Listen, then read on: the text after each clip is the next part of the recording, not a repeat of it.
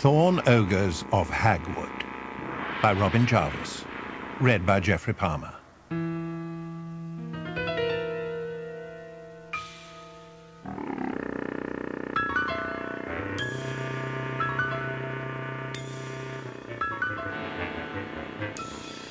Beneath the glimmering stars, the ancient sprawling forest of Hagwood was crowded with menace and black branching shadow. A solitary shape slipped swiftly, pausing only when it reached the edge of a steep bank, and the chill air filled with the slow music of water. Here was the Hagburn, the stream that flowed close to the western border of that great tangled wood, and a pair of amber eyes glittered briefly as a proud head reared to gauge the distance. Springing forward, the creature leapt across the gulf, and with a flick of her splendid tail, alighted upon the far bank. For two days the vixen had patiently awaited her mate's return, but that afternoon, as she tended to their two young cubs and listened to their hungry yelps, she had finally acknowledged that she would never see the dog-fox again. It was she who must now provide, and her own empty stomach snarled within her. Where the last shapely branches stretched out above an overgrown cinder track, she halted, ears erect. With trembling nostrils she interrogated the drifting scents and caught the tantalizing fragrance of the remote, deep green water. Contemplating the fat, fleshy duck that would soon be hers, she shot from cover, drawing ever closer to the lonely mere. When the ground became soft and damp beneath her paws, the vixen slowed her pace and halted. Then, stealthily, she began to creep forward. The slightest of sounds caused her ears to flick, and she hesitated, glanced over her sleek shoulders. Something was close by, rustling through the grass behind her. A sudden awful fear seized her, and the desire to flee overwhelmed her. Summoning her strength, the vixen tensed, preparing to race back over the barren wilderness. Only then did she realize. The dark landscape of the heath changed. Tangled shapes, blacker than the encompassing night, had moved. The thorn bushes and knots of briar that she had so stealthily passed only minutes ago had shifted position, were now grouped together to form a dense thicket, barring her retreat. The vixen peered at that unnatural fence, confused and afraid. Who could have done this? Where in that expansive gloom was the mover of trees lurking? But within that prickly barrier was a narrow breach, just large enough for her to dart through. She flung herself forward. But before she could tear through that inviting gap, two pale points of light snapped open in the dim dark ahead, and a thin, rasping voice began to hiss with cruel laughter. At once, the heavy shadows all around glittered with countless luminous eyes, and a terrified yowl issued from the vixen's throat as there came a clattering of branches, and the break in the hedge was no longer there. Unable to stop herself, the vixen went skidding and sliding right into the thicket's prickly heart. Across the empty heath and the flat surface of the mere, her pain-filled yelps went sailing as a score of bitter spikes needled into her flesh. Then the laughter began, crowing and cackling from every direction. All around her the dense hedge was moving, rearing from the stubbly grass upon many stumpy legs. They were the thorn ogres, and from the swaying darkness misshapen limbs raked out, and high into the chill night air the vixen's dying scream soared.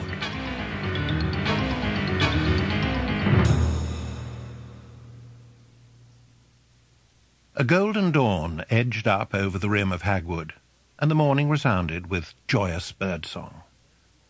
In the western corner of that vast woodland, the venerable oaks that grew between the Hagburn and the cinder track were home to many creatures, but none so strange as the forgotten race of the little werling folk. How long they had dwelt there high in the trees no one knew, for they were accounted small and insignificant, and had always been overlooked. But soon even the most high lady would be aware of them. This is their tale and it began upon that bright March morning in a snug chamber within the trunk of a great oak tree. Grunting softly in his sleep, Gamaliel Tumpin lay on his stomach, face buried in the soft, dry moss of the bed, in complete contentment, until his sister barged in. No, you don't, she gasped in outrage, and jumped heavily upon the mossy bed. Idle bones, she bawled. Don't you be late this first morning. I doesn't want you making a show of me. Father's bad enough. Jolted from sleep, Gamaliel was hauled from the bed. Cornella Tumpin glowered down at her brother, stern disapproval etched into every freckled furrow of her forehead. How could you doze in today? she demanded. Gamaliel glared back at her. Cornella was two years older than her brother, and took every opportunity to boss and scold him. A plain, plump, werling child with short reddish hair, she scrutinized the room and voiced her disdain. Messier than a rat hole in here. But Master Gibble won't stand for any of your sluggy tats and clatters. I'll be shamed to be seen with you, she said, turning on her heel. And don't you go expecting me to sit next to you neither, for I won't. Well, that's something, I suppose. Cornella was right. His room was a mess. The trouble was that Gamaliel could never bear to throw anything away, and his collection of colourful stones and pebbles had grown so large that they were now heaped all around the room, while his trove of shiny beetles' wings, seeds, and knobbly twigs was beginning to spill out into the passageway.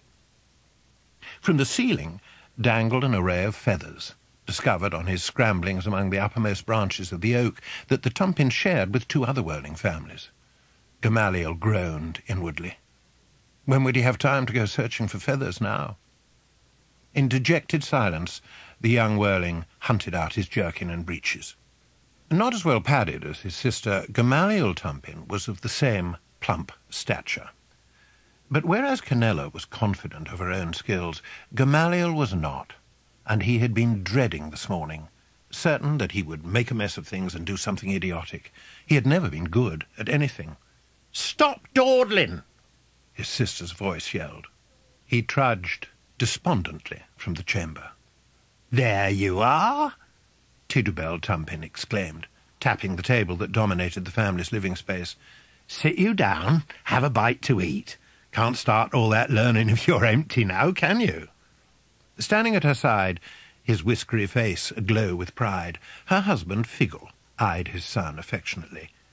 Tending Master Gibble's in the first time, he declared. How well I recall the day I started. How I hurried to a corner of the room where a patterned cloth concealed his wife's work-basket. Cornella eyed her father crossly. Is he never going to get rid of that? she demanded of her mother. I know he only keeps it to embarrass me. With his head ducked under the cloth, Figgle waggled his bottom from side to side, and the bushy red squirrel tail that stuck incongruously from the seat of his breeches and so scandalized his daughter gave a mischievous wave. Oh, mother, Cornella objected. Everyone's laughing at him, and Master Gibble says father's making a mockery of his teaching. Nuts and pips, Figgle told his daughter. I can grow a tail if I want to. Kept me lovely and warm this winter, it has. Returning to his wife's side, Figgle performed a little jig. Time for presenting, Figgle announced. Reaching into the basket, Mrs. Tumpin brought out a small black pouch fastened with two cords, and with the utmost ceremony held it out to her son. Here, Gamaliel, she said tenderly, your special day has finally arrived. At last you will learn the secrets of shape and change, the ancient knowledge that keeps our kind safe and hidden. Your very own Wurgle pouch. Made it myself out of the finest moleskin. Gamaliel looked up at his mother and saw the love in her face. That morning smile stayed with him till the end of his days. Thank you, he said, as he received a kiss upon the forehead. Wear it well, son, Figgle told him. Save your life, that will. I know mine has. I bet he loses it, Cornella said sourly, and fingered her own Wurgle pouch, which was hung about her neck. This was exactly the same as Gamaliel's, except that two red patches had been sewn on to show the level she had achieved in her training. Got a lot of hard work ahead if you're going to catch up with me, she boasted, and you'll never be as good as Finnan. At that moment there came the sound of a horn blowing, and Canella sprang to her feet. Gotta go, she cried, scurrying from the room. Well, Figgle murmured while his wife stuffed Gamaliel's pockets with food, don't look so worried. Just do the best you can. Gamaliel gave a weak smile, then walked apprehensively down the passage that led to the outside. The moment he had hoped would never arrive was here. After the dim lantern light of the Tumpin home, the late March sunshine was dazzling, and when he gazed out across the leaf canopy, the young werling set his thoughts free. In all his seven years, he had never been allowed to venture anywhere near the banks of the Hagburn, let alone the forest beyond. But in his dreams, he had journeyed far into the dark heart of Hagwood. Now he sent his mind travelling out over the rolling landscape of the tree-tops, to where hushed tales told of gnarled yews that grew so close that not even a ray of light could slip between their tangled branches. Through that blind gloom he had often pressed, braving hideous perils until at last he arrived at the great green hill, that wonderful spectacle he never tired of gazing upon. Out over the green rustling sea, that steadfast island reared in the hazy distance, and Gamaliel drank in the vision, as he had done countless times before. Of the noble lords and ladies who dwell within its hallowed halls, there were many bewitching legends, and Gamaliel loved to hear them. Perhaps one day, he whispered to himself, one day I could go there and see it up close. At that moment, a fat squirrel barged straight into him. Hey! Gamaliel called as his feet slithered from the bark and he plummeted towards the ground until his instincts took control and his hands reached out to seize hold of a blurring branch. Immediately, the breakneck drop came to a stomach-jolting halt. Sweeping his legs high and over, he somersaulted and landed deftly upon the tree, out of breath and angry. The squirrel had been wearing his sister's cape and hood. Like all members of the werling race, Gamaliel was an expert at climbing and scampered down the oak in a matter of moments. At the base of the tree, having returned to her own form, Canella was waiting, laughing. Not funny! Not funny! he shouted. Scooping up a handful of damp leaf mould, Gamaliel hurled it at her, but Canella leapt aside. She was about to pick up a quantity of the stuff herself when she stared over her brother's shoulder and thought better of it. You too? A gruff voice called impatiently. Stop larking about! Gamaliel turned sharply, and there, shambling towards the oak, was a large hedgehog. Morning, Mr. Mattock, Canella said, assuming an air of mock innocence. The prickly creature was a sorry-looking specimen. The bulky body sagged in the centre, and its movements were extremely peculiar. When it stumbled to a standstill, its middle drooped even more, and it sank strangely to the ground. Moving closer, Gamaliel peered at the blank holes where the eyes ought to have been, and glimpsed a stern face staring out at him. Don't stand there gawping, lad. Do you want to be late on your first day? Get you in. As these words were spoken, the creature's entire head was thrown back, and standing where its face had been was a grave-looking werling. This was Yuri Mattock, a member of the presiding council, but today he, along with four other adults, was collecting those children about to commence their training and conveying them safely to the place of instruction. Don't gawk, boy, he snapped. There's an owl been seen these past few nights. What if it's late getting home and fancies a nibble of your daft head? Hmm? Death and danger all around. You should know that. Gamaliel stammered an apology. But his eyes were drawn to the two figures crouching behind Mr. Mattock inside the hedgehog skin. His heart sank. Mufus and Bufus Doolan were twins, the same age as Gamaliel. Practically identical, with curly chestnut hair and upturned noses, they shared an irritating snigger and poked fun at everything and everybody. Hide and be safe, Mr. Mattock continued. Best disguise, this is. Until you're a bit older and have learnt a few tricks of your own. Now, lad, get a move on. Yes, Canella joined in. Stop dithering! Greatly flustered, Gamaliel hastened towards them. But the leaf mould was slippery, and before he knew what was happening, the young werling was flying headfirst down the slope. Look out! Canella shrieked in horror.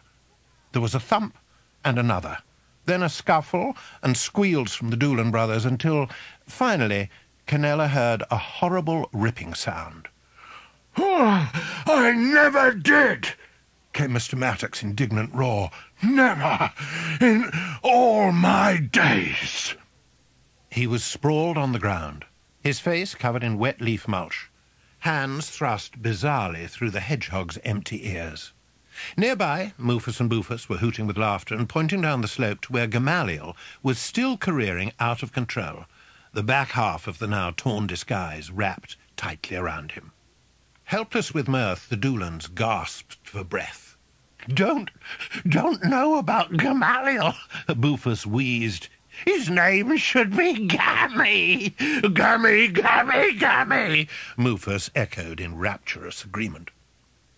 Wiping the dirt from his face, Mattock rose and glared at the ridiculous figure flailing on the ground. Get over here, you perfect fool! he raged.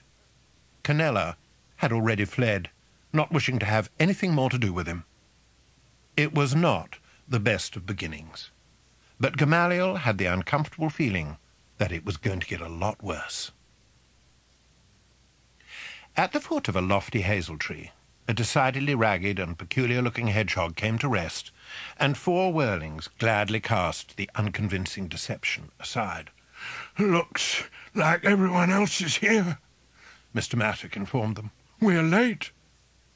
The young Werling saw that four other prickly disguises had been abandoned and left until the end of the day when they would be needed again. You'd best climb up quick as a wink, Mr. Mattock advised. Master Gibble don't like to be kept waiting. The Doolans were soon swarming swiftly up the smooth bark of the hazel tree. Last one to the top is a gammy tumpin, they called out to one another. The hazel was of immense stature, and amid the high branches a wide platform had been constructed. When Gamaliel Tumpin peered through the opening at its centre, he saw that he was indeed the last youngster to arrive. Sitting upon that wooden deck were more werling children than he had ever seen assembled together before. Concentrating hard, he counted thirty-nine. Nervously, he glanced around to see if Master Gibble was present, and was enormously relieved to discover that he was not. Self-consciously, Gamaliel clambered onto the platform. Canella ignored him completely. Leaning forward, she grinned goofily at a youth several seats away. "Who, Finnan?" she called. I'll bet you've been practicing all winter. Be taken over from Master Gibble one of these days, I reckon." The boy fidgeted uncomfortably. At the front, Gamaliel was trying to find a place to sit. Mufus Doolan budged up a little and shouted, Gammy, come sit with us. I dares you. N no, Gamaliel spluttered. I don't think... His words were drowned out by a sudden cry that screeched fiercely above their heads. Glancing upwards, the werling children were horrified to see a great magpie come diving through the branches, talons outstretched. The youngsters fell on their faces, throwing their arms over their heads. We'll be eaten! they screamed. Save us! Save us! Only two remained where they were. Gamaliel was too thunderstruck to know what to do, and Finnan Lufkin, brushing the hair from his face, stared up at the ravaging bird. Dab crack, he murmured. The wily old boaster. Around him the older children were recovering from their initial shock. Then they began to coo with amazement. Hooray! they cheered. Isn't he clever? Aware that the disguise had at last been penetrated, the magpie gave a triumphant croak before alighting upon the platform. In a moment, the bird had vanished, and in its place was Tersa Gibble, the great grand Wurgelmaster, the tutor of the Werlings. He was tall and spindly, more like a twig than anything else. and taking his black gown from its hook, he wrapped it about himself and struck a pose. Gamaliel regarded his new teacher with awe. He had never witnessed such a dazzling display of his skill. Birds were an incredibly difficult shape to master. Basking in the adoration, the Wurgle master's mouth smiled serenely beneath the longest nose of any werling. Resembling a blighted parsnip, over the years many extra nostrils had opened along its prodigious length, and at times of temper or high indignation his snorting breath would blast from those holes in sharp, whistling notes. The effect commanded much respect. When the applause subsided, the tutor's small black eyes fell upon Gamaliel. You there! His pinched voice barked. What ails your knees? N nothing, sir. Then use them and sit down. Gamaliel, more nervous than ever, could only stare back at him. Mufus and Bufus started to titter. Not your name? the Wurgle master demanded. Speak now, speak. He's called Gammy, Bufus piped up. He's balmy. At the back of the assembly, Canella disowned Gamaliel completely and became suddenly fascinated by the branches above her head. Displeasure flared three of Master Gibble's nostrils, and a soft hiss emanated from them. Taking a menacing stride towards Gamaliel, he said, If the dolt does not seat himself before I get to him, I shall snatch him up and hurl him over the edge. Gamaliel felt his eyes begin to tinkle.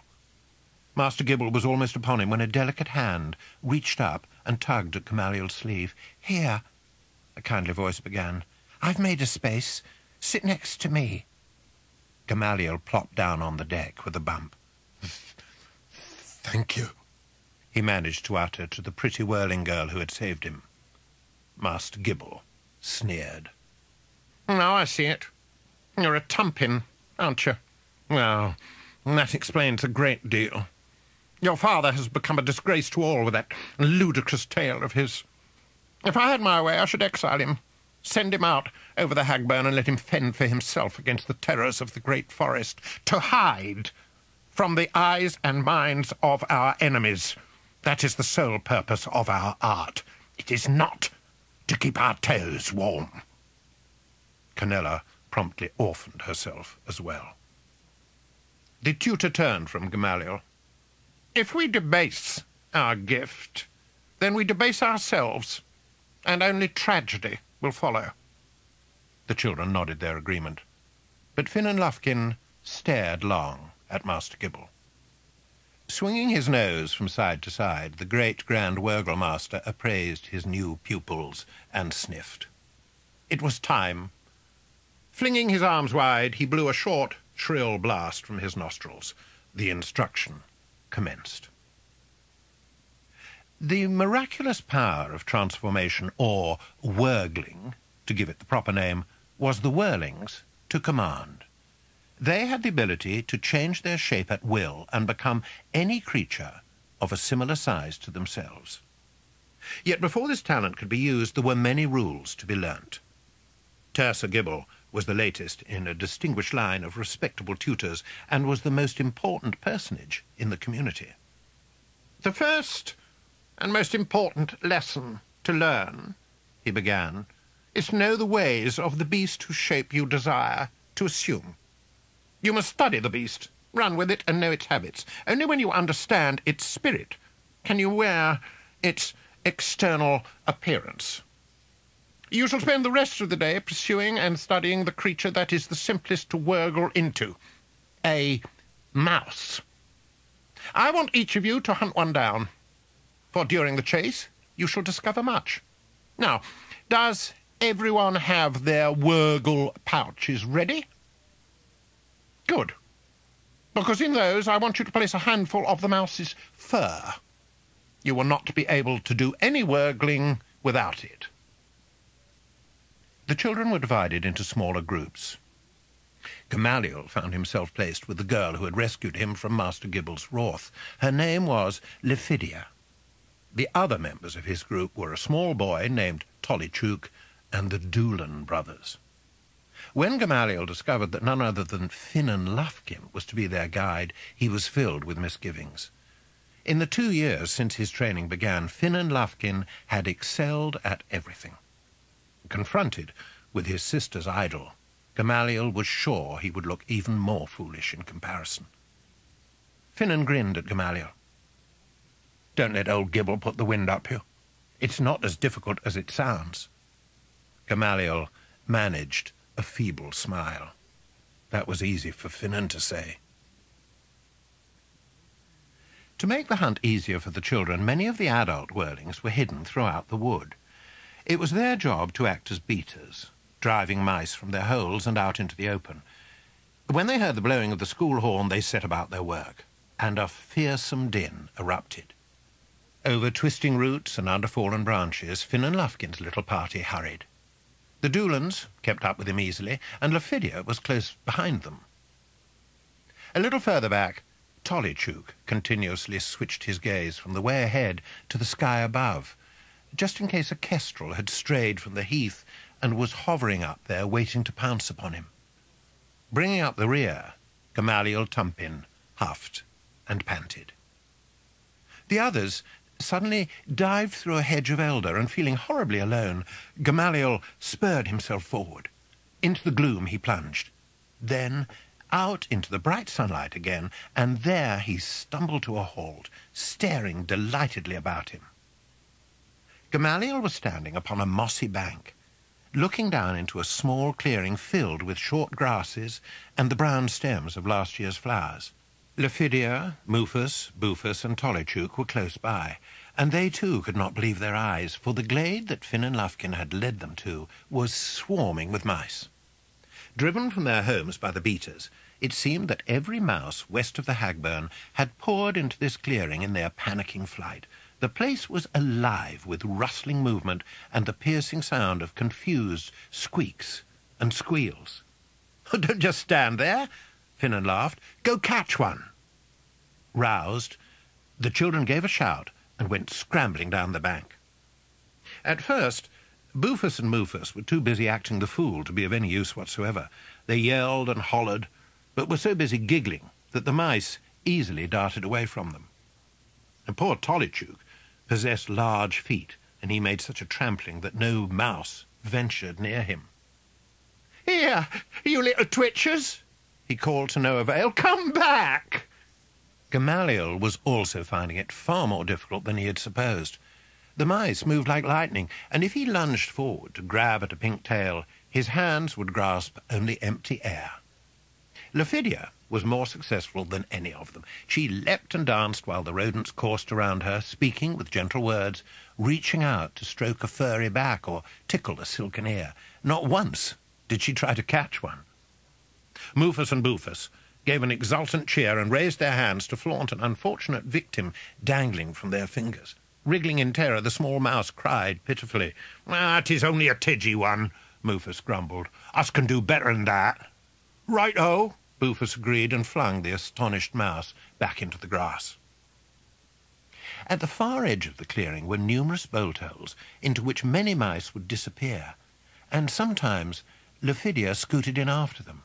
Down unlit tunnels she ventured, the squeals echoing eerily around her. When they saw what she was doing, the Doolan brothers did the same, and screamed and howled at one another throughout the length of their underground journeying. Up on the bank, even Finnan could hear their racketing progress. He knew that valuable lessons were being learnt, but the time had come for the tokens to be claimed. When Mufus and Bufus next appeared, grimy but grinning, he told them they had to concentrate on the task that Master Gibble had set. The twins darted back into the grass. Ha ha! Mufus cried abruptly. Hoo hoo! Bufus shrieked an instant later. Simultaneously, both boys lifted a frightened mouse above their heads and, seizing a handful of fur, gave a hard, sharp yank. A duet of pain erupted from their victims, and the Doolans set the mice free, waving their trophies proudly. Well done, Finnan called, then jumped from the bank and hastened through the grass until he was standing at Lafidia's side. What are you doing? he demanded. You've had plenty of chances. Lephidia smiled at him. Do you really want me to trap one of these lovely creatures? That's why we're here. Very well, she said, and springing forward, Lephidia wrapped her arms about a fleeing mouse's neck. She patted its head to quell its fear. Excellent, Finnan exclaimed. Now, pull a clump of fur out. I'll do no such thing, she retorted. It's cruel. But think of what old Gibble will say. Lephidia laughed. I don't care about that, she said. Then, kissing the mouse's nose, she let it go, and the creature sped away. Tolly Tuke finally scooped up a mouse. Got you! I got you! he cried. Oh, my pretty squeaker, don't fight so! Wrestling with it, at last he seized hold of a fistful of soft, sleek hair and pulled. The mouse squealed, but then so did Tolly Tuke, for even as the fur tore free, the rodent twisted about and bit his nose. Howling, the boy dropped both his attacker and his trophy. Only Gamaliel was left now, and Finnan went in search of him. Canella's brother was exhausted. He had not touched so much as a tail tip, and he puffed and wheezed, his face almost beetroot in colour. I can't do it, he sobbed. I'm no good for anything. I'm useless. Wipe your eyes, Finnan said gently. I'll help you. Follow me. Waving to the others to remain where they were, he led Gamaliel from the clearing and into the wide woodland. A fallen tree stretched across their path, and Finnan ran his fingers over the ivy leaves that covered it. Pulling the trailing growth aside, he revealed an opening in the fallen trunk, large enough for a werling to clamber inside. Finnan whispered, Don't make a sound, and say nothing. With that, he ducked under the leaves, and Gamaliel followed him in. A dim grey light filtered from the opening they had just crawled through. Finnan was treading carefully forward. Gently now, Finnan murmured. Peace, old one. Gamaliel stood on tiptoe and peered over his shoulder. It was the oldest mouse that Gamaliel had ever seen, the eyes almost blind. There we are, Finnan breathed as he caressed the aged animal's head. Enthralled, Gamaliel held his breath. It was obvious that the mouse's trust in Finnan was absolute. Too old to run with the others, weren't you? Finnan murmured. Same as you were back then, when I first found you. A shriveled paw dabbed at the air, and the boy chuckled warmly. Not much today, he admitted, opening a leather bag attached to his belt. Just some dried apple pieces. The mouse gazed up at Finnan with its milky eyes, and the werling smiled lovingly. At that moment, Gamaliel could hold his breath no longer and exhaled with a loud Pah! The mouse blinked at him. It's all right, Finnan assured it. This is another friend of mine. Placing the morsels of food on the floor, the old creature eased itself wearily down on its side and rolled over. It knew what was needed. Finnan beckoned to Gamaliel. Here, he said. Take fur from its back. Just below the mouse's shoulders was a bare patch of mottled skin. A few of the hairs had grown back, but the rodent was so ancient that most of the area had remained bald. Had someone else removed a scrap of fur? Is that why the animal knew what was required of it? Twining his fingers in the white fur, Gamaliel pulled as gently as he was able. The mouse gave a forlorn whimper when the hairs were extracted. There now, Finnan crooned, cupping the creature's face in his hands. It's over. You have been so brave. Bless you. Gamaliel shifted awkwardly. Yes, he began. Thank you. Finnan was stroking the mouse's nose. Rest now, he told it. I'll come back. You know that. Into a dark corner of its nest, the mouse retreated, its milky eyes fixed devotedly upon Finnan.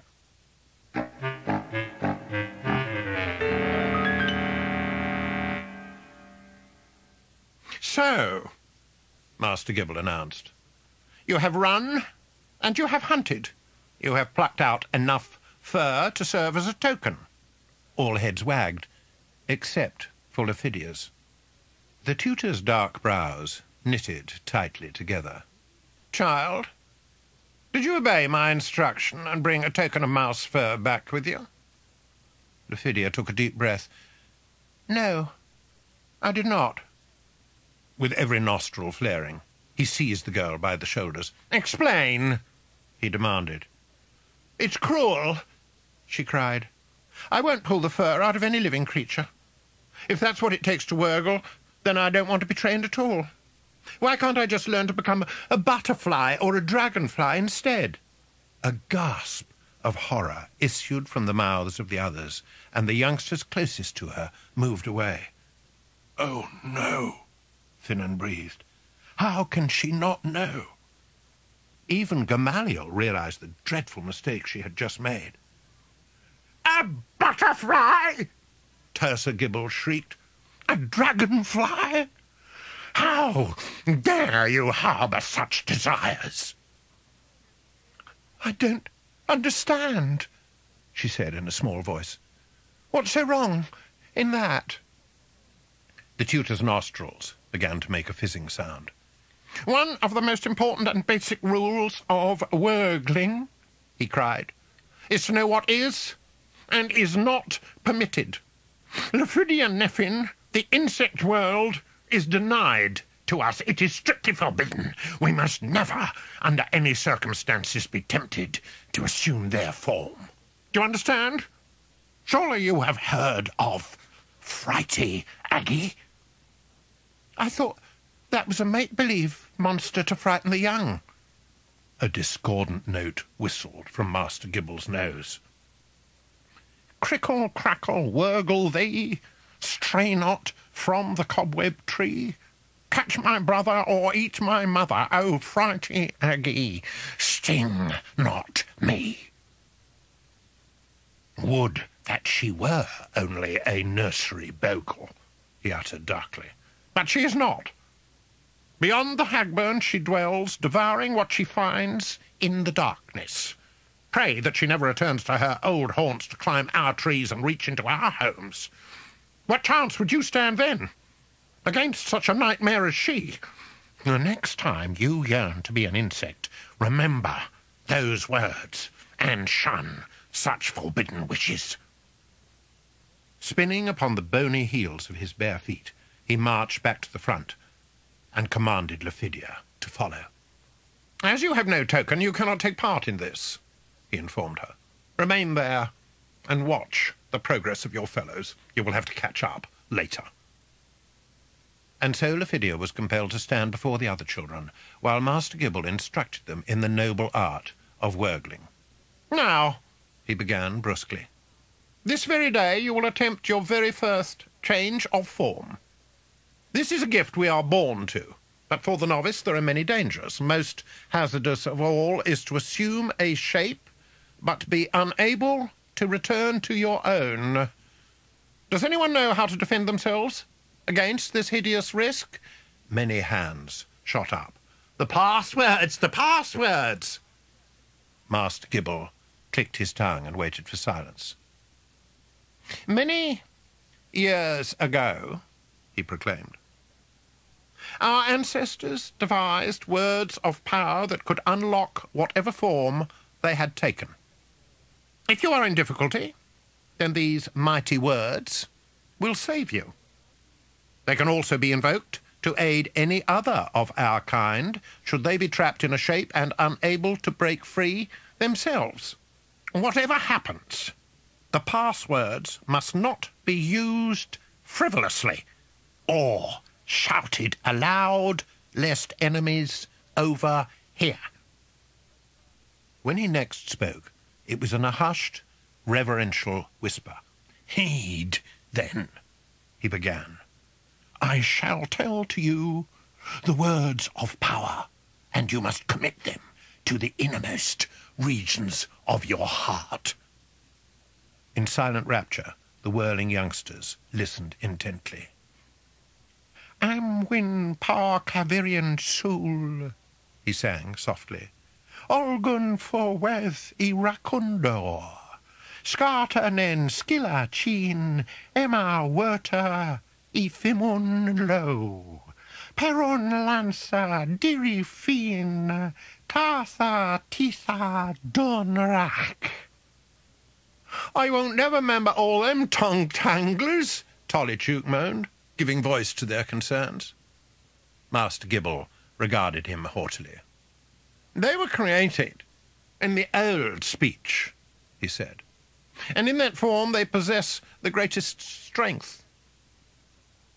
Yet there is a loose translation that may be easier for you to learn. It will be all you need at this stage of your instruction. Again, he adopted the low, respectful tone. I call on ye who lay beneath soil and sky, bark and leaf. Unyoke flesh, unbar door, cast off shape and wear no more. Give again the form that's good by the might of great Hagwood. that's better, Tuke cried. Unyoke flesh, unbar door. Tain't so tricky, that, hmm? Master Gibble's bony hand flashed out to smack Tolly Tuke soundly across the back of the head. Idiot child! You want the world to hear? Speak not so loudly if you have to utter those words at all. And so, the moment has come, Master Gibble announced the rest. Remove from your wurgle pouches the tufts of fur you have brought from the wood. Gamaliel reached into his velvety bag and took out the snowy fur. He saw Finnan grin encouragingly across at him. Attention, everyone, Tersa Gibble declared.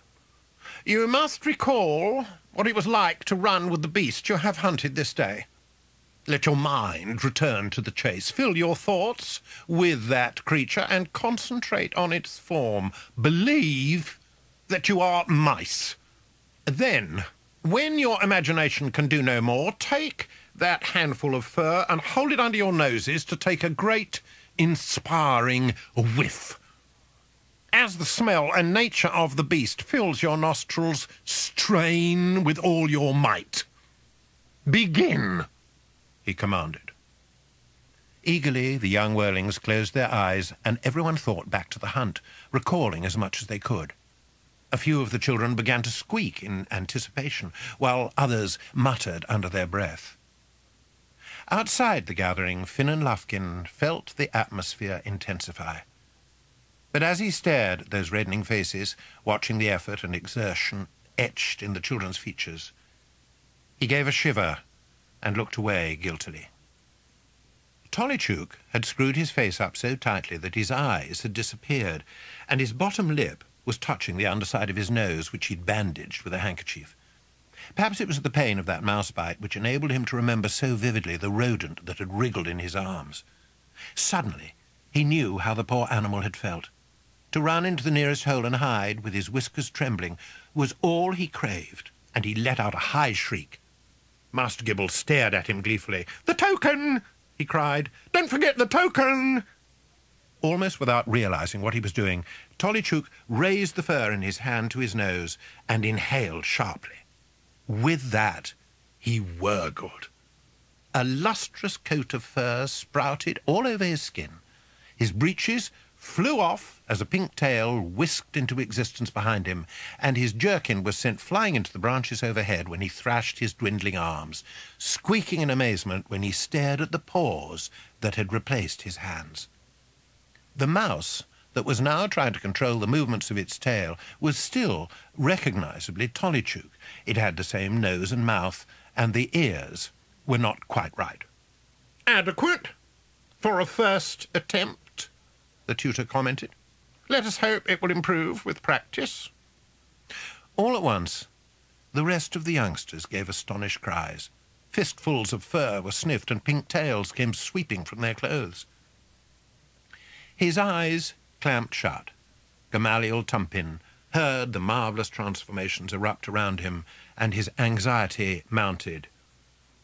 Come on, Gamaliel! Canella's impatient call came ringing in his ears. Hurry up! Her brother was frantic. Desperately, he struggled to imagine he was a mouse. Please, please, please, he begged, his voice cracking with effort and emotion. Clutching the tuft of white fur to his nose, he took an enormous breath and doubled over. He felt his knees begin to shake, and a curious buzzing filled his mind. This was it, he thought. The wurgling was beginning, and his heart soared. Rejoicing, he leapt up, waiting for the tail to burst out behind. Yet the miracle never happened. Instead of turning into a rodent, Gamaliel Tumpin swayed dizzily and staggered backwards. Did it work? He mumbled with a slur. Am, am I a mouse? A prickling darkness engulfed him, and Gamaliel went crashing to the floor. He had fainted. It was dark when Finnan Lufkin ascended the mighty oak in which the Tumpin family lived. Overhead, he could see the faint glow of a lantern spilling out along the branches. A solitary, plump figure was sitting there humming softly. Gamaliel? Finnan called. Is that you? The figure started. Hello, Finnan. What are you doing here at this late hour? Evening, Canella. I came to see how your brother was doing. Is he feeling any better? The girl yawned. Don't care. Ain't no one never swooned wurgling before. Did you hear how that Stooky Maffin giggled? Where is Gamaliel? Canella pointed upwards. In his favourite spot, she said.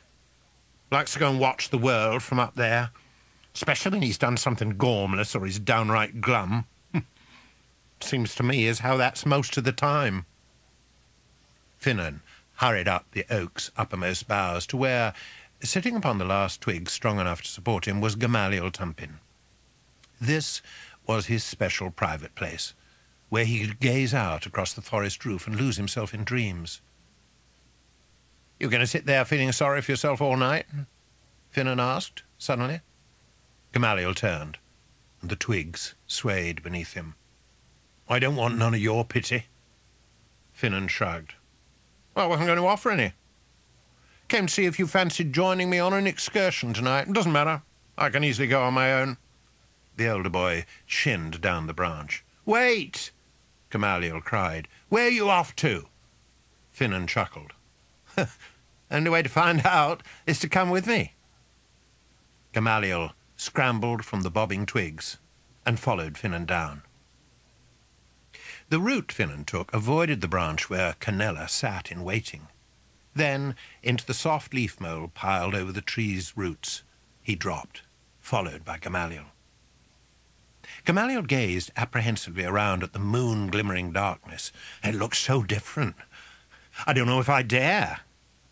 Finnan began walking down the slope. You'll be perfectly safe for me to guide you, he promised. I've roamed in the dark hundreds of times before. Hmm. if you're sure, Gamaliel said, scampering after him. We going to see that old mouse again? Before Finnan could answer, there was Canella, arms folded and annoyed. Don't you try and slip off without me, she said crossly. If you don't let me join you, I'll tell. There was nothing Finnan could do but allow her to accompany them. Under the towering black columns of the trees they journeyed, travelling northward, quite the opposite direction to the one Gamaliel had supposed, and the unfamiliar sights, smells, and sounds alarmed and thrilled him. At length, the trees began to thin on their left, and Gamaliel caught a glimpse of the cinder track beyond. He stared fearfully through the outlying oaks. That neglected trail marked the edge of his world. The cinder track was left behind, and Gamaliel heard the sounds of flowing water. They were drawing near to the Hagburn. Oh, Finnan, Canella chided. It's not allowed to jump the stream and go into the big forest. You know that? Don't worry, he said. This is as close as we get to the Hagburn. Past those birches yonder, and we'll be done.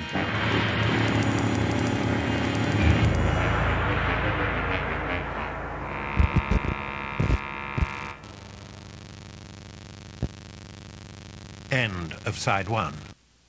Side two.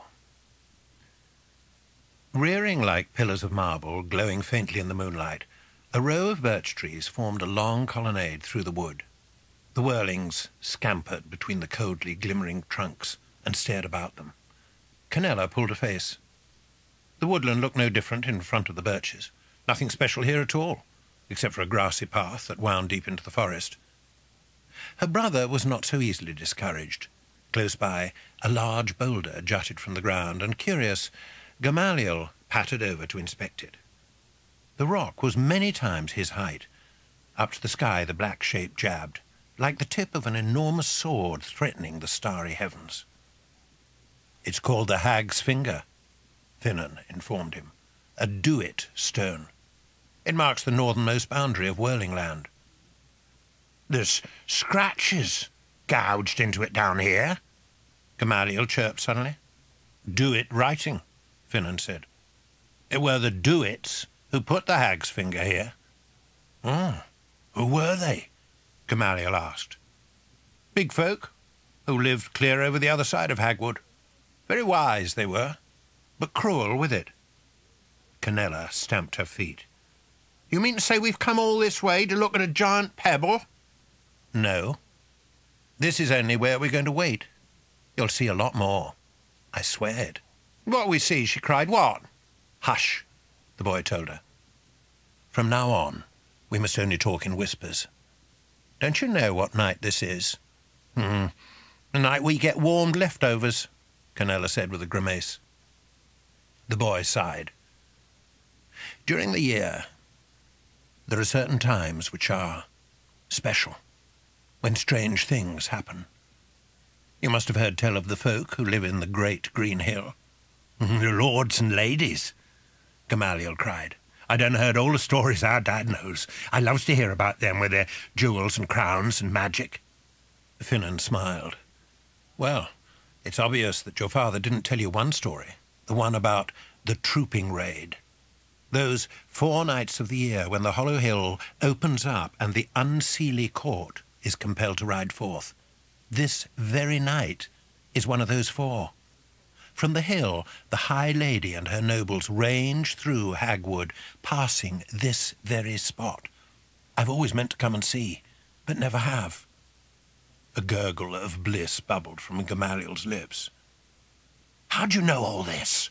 Canella asked. If it's true, why aren't there more come here to gawk? My old Nan told me. You ever want to hear a real cracking yarn, you go ask her. Now, quick, he hissed excitedly. Make sure you're well hidden behind the rock. See, over there. The Tumpins looked where his quivering fingers were pointing. In the distance, through the trees, many lights were flickering. The lamps of the hollow hill had green flames, and because the bearers were still too far away to see, it seemed as if they were floating upon the shadow-filled air. The Werlings were struck with awe and fear, not wishing to be seen, yet aching to see all. Canella pulled the neck of her snookle hood over her nose, while Finnan took shallow breaths and became as still as the stone that concealed him. Soon the woodland was awash with the radiance of the underground realm. The figures were so tall and menacing that Gamaliel wanted to shriek and run away. He'd never seen any creature so large. Yet, in spite of his fears, he remained where he was, terrified and enchanted. At the forefront of the fairy host marched a band of pages. These were Cluries, squat creatures with broad, flat heads and tiny darting eyes. They were dressed in blood-red velvet with golden buttons, and in their large hands they bore slender poles, from which silver lanterns hung.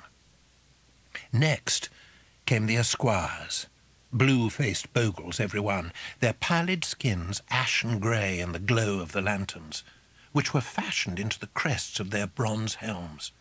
They were taller than the pages and wore leather hauberks painted with the emblem of the High Lady, a black owl wearing a golden crown. Over their shoulders they bore cruel-looking spears with jagged blades. Then came the goblin knights, ghastly to behold. The grim features that poked from beneath their plumed helmets were covered in grey scales, and their eyes were dark hollows in which no glint of reflected light could be seen. Lances tipped with gold were carried in their clawed hands, and round shields bearing the owl badge were lashed across their shoulders. Their coal-black steeds were bedecked in armour, and their eyes burnt with scarlet fire.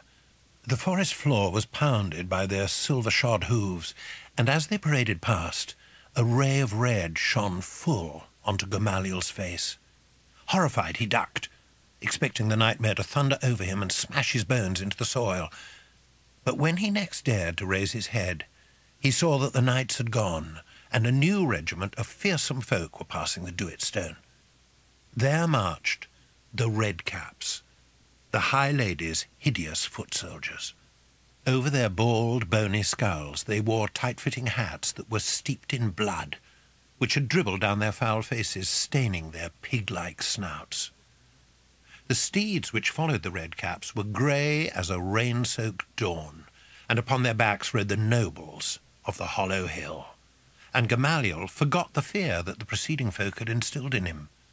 The lords and ladies of the court were the fairest creatures he had ever seen. Sumptuously arrayed in velvet cloaks, trimmed with lustrous fur, clasped about their necks by brooches set with gems that flashed in the lamplight. Every face was proud and haughty, but they owned an ethereal beauty. Trampling behind came the royal bodyguard.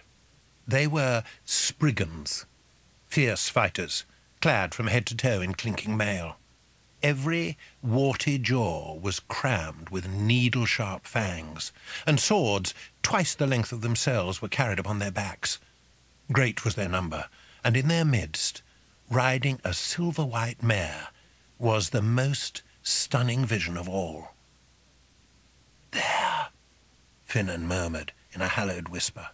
That must be her, the High Lady herself, Rhiannon of the Green Hill. Even Canella gasped with amazement, and Gamaliel felt as though he wanted to cry. Beneath a silken canopy, embroidered with jewels and golden thread, rode a woman as lovely as a winter night. Her raven hair was like a trailing cloud of storm, and a circlet of gold sat lightly upon her pale brow. The unearthly light of the hidden realm bloomed in her cheeks, and her eyes, dark and keen, pierced the surrounding gloom, laying all secrets bare. Yet they were not turned to the Duet Stone. When she drew level with the hag's finger, the werling saw that upon the lap of the Lady Rhiannon was a small figure. What is it? Gamaliel breathed. A mortal infant, taken to the hollow hill many years ago. If he were ever to return to his own kind, then old age would claim him, and death would follow. Into the forest the cavalcade journeyed, and the woodland behind was plunged back into darkness. There was no indication that the unseelie court had gone by, not a blade of grass was broken, and the soil showed no sign of hoof marks. Gamaliel stared into the night-shrouded forest, then turned to his new friend. Thank you for showing me this, he said. Not being able to wurgle into a mouse don't seem half as important anymore.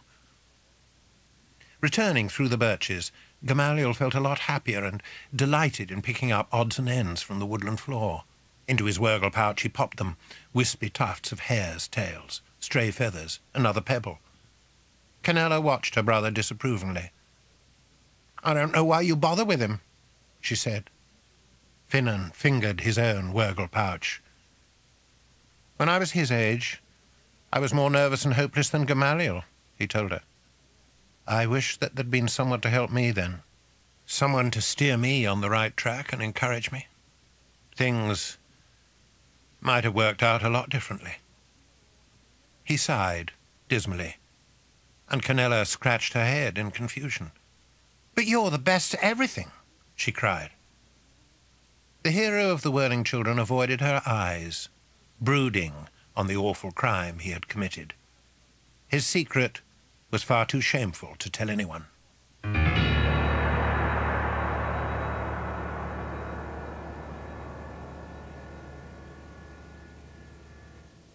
Brilliant sunshine flooded through the trees that grew west of the Hagburn. That morning all spirits were high, and in the hazel tree the young Werlings were treated to a wurgling display by the older children, who changed themselves into all manner of small woodland creatures stoats, snails, squirrels and voles, rats, and several unsuccessful finches and sparrows. Master Gibble eyed the dismal birds. If your ambition compels you to attempt forms that are beyond your capabilities, do not presume to parade the disastrous results before me. He turned to Finnan, who had not changed into anything at all. And you, Master Lufkin, he said, will you be joining your fellows, or is that beneath you nowadays? I didn't know where to begin, the boy replied honestly. Are there indeed so many forms in your repertoire? Master Gibble asked archly. Yes, Finnan said, much to the tutor's annoyance, there are. A soft, whistling peep escaped from one of Master Gibble's nostrils. Would you care to demonstrate, he hissed, if it isn't too much trouble?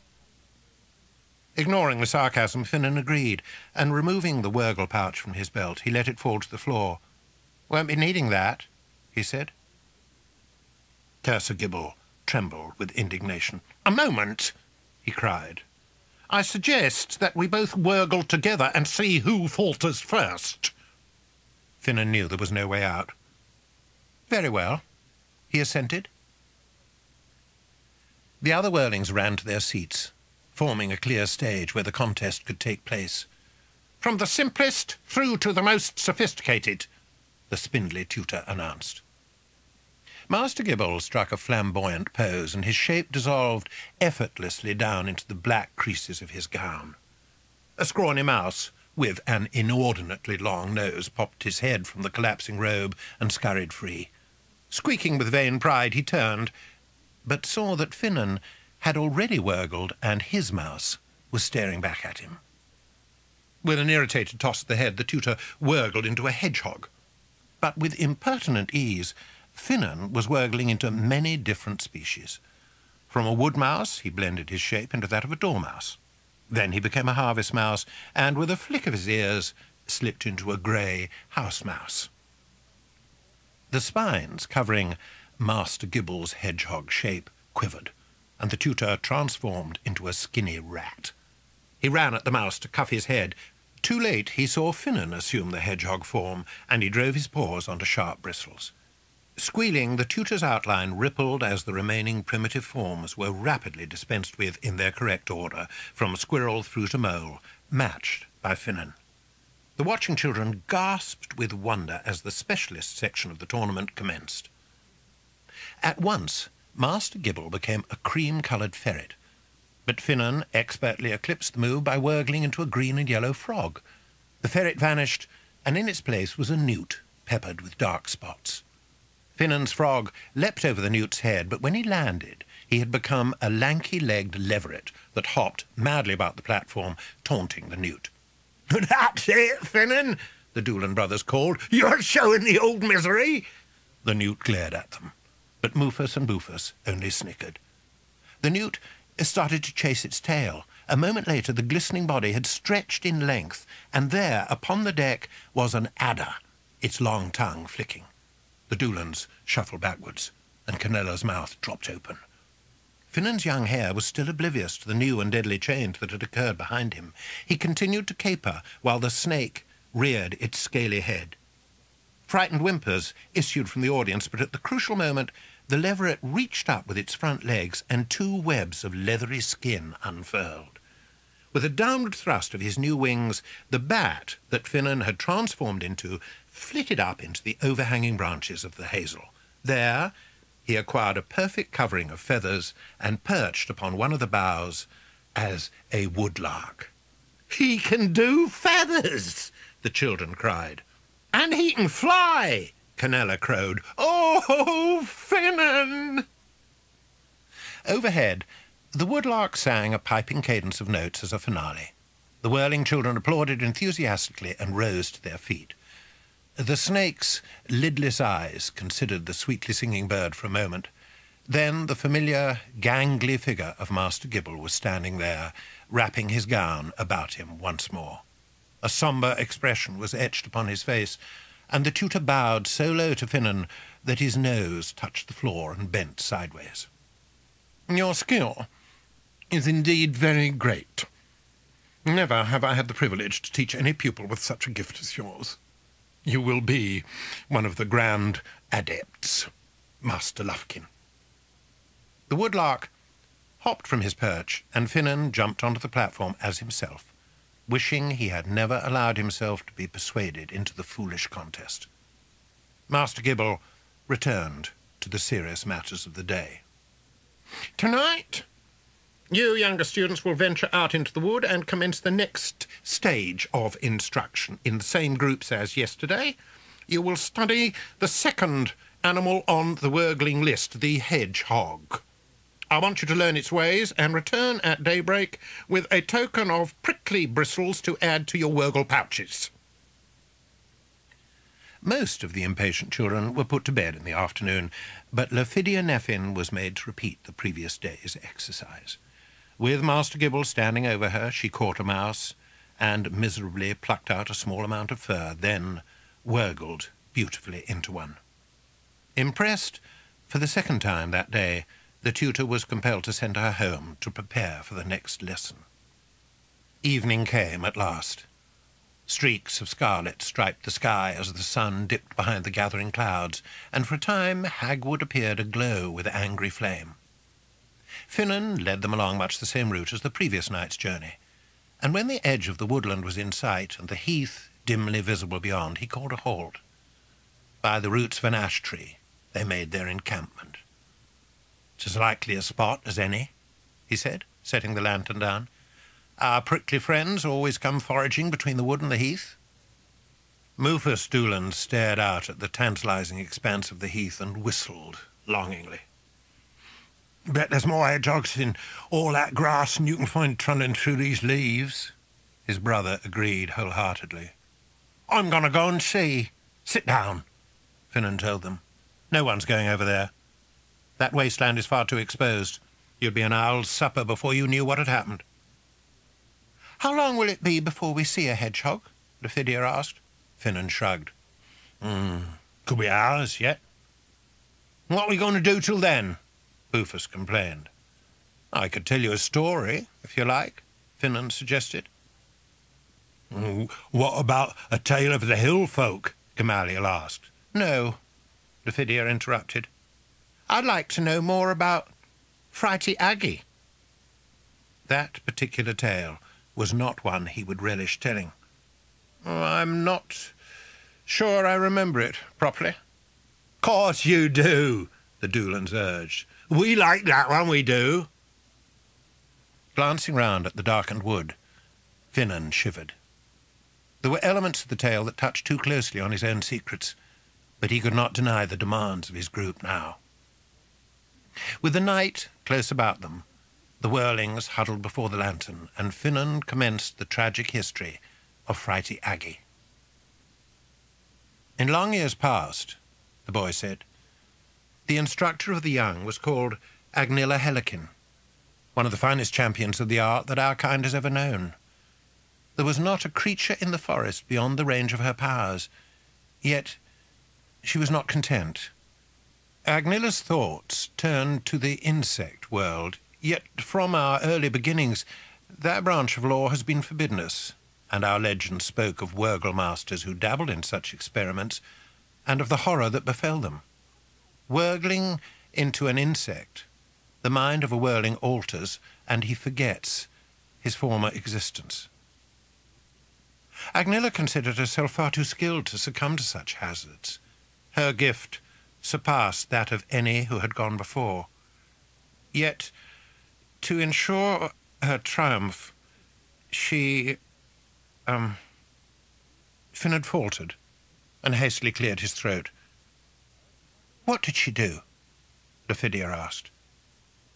Thought she could um, cheat, the boy answered clumsily.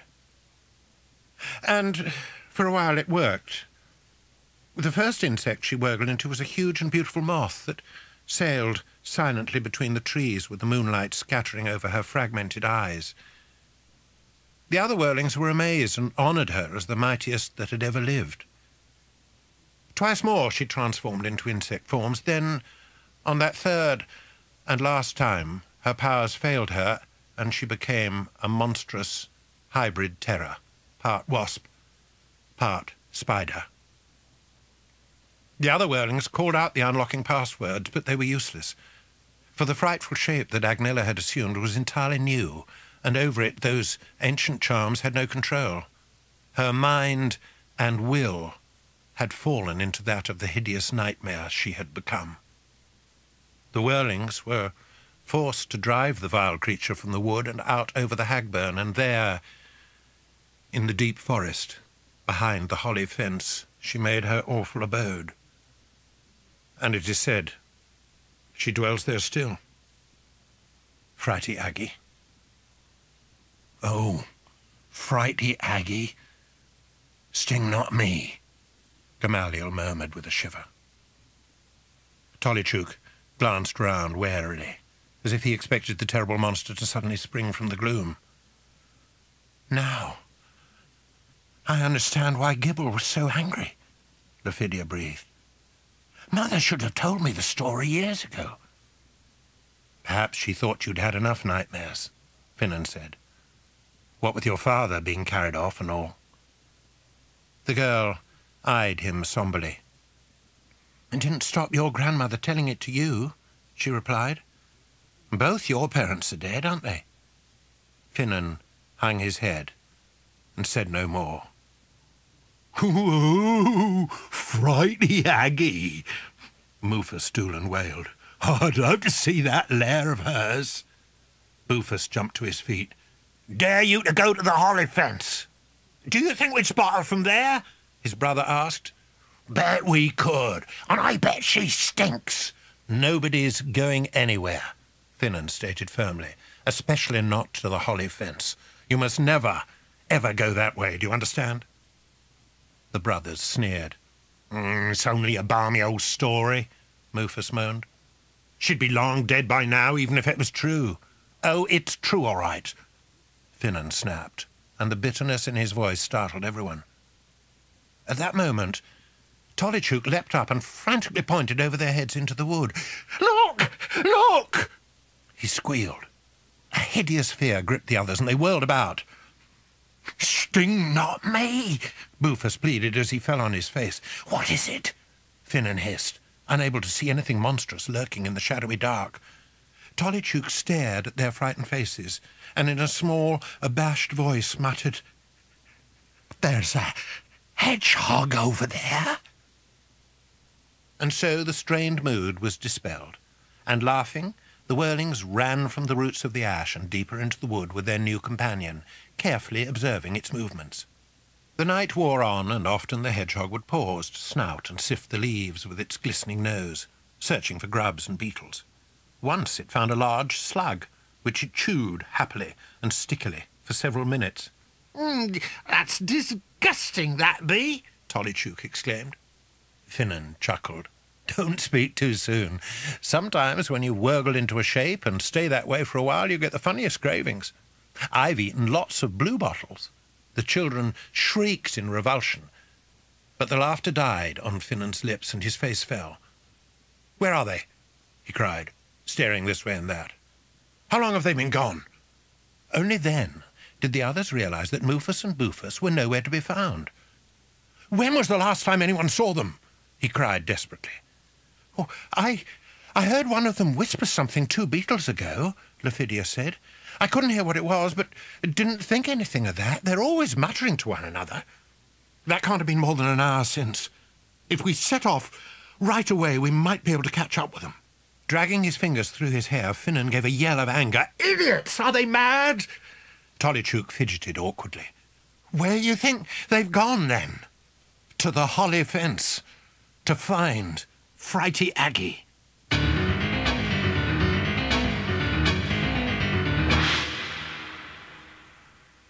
Through the night-wrapped wood the werlings raced, their hearts pounding with fear and dread.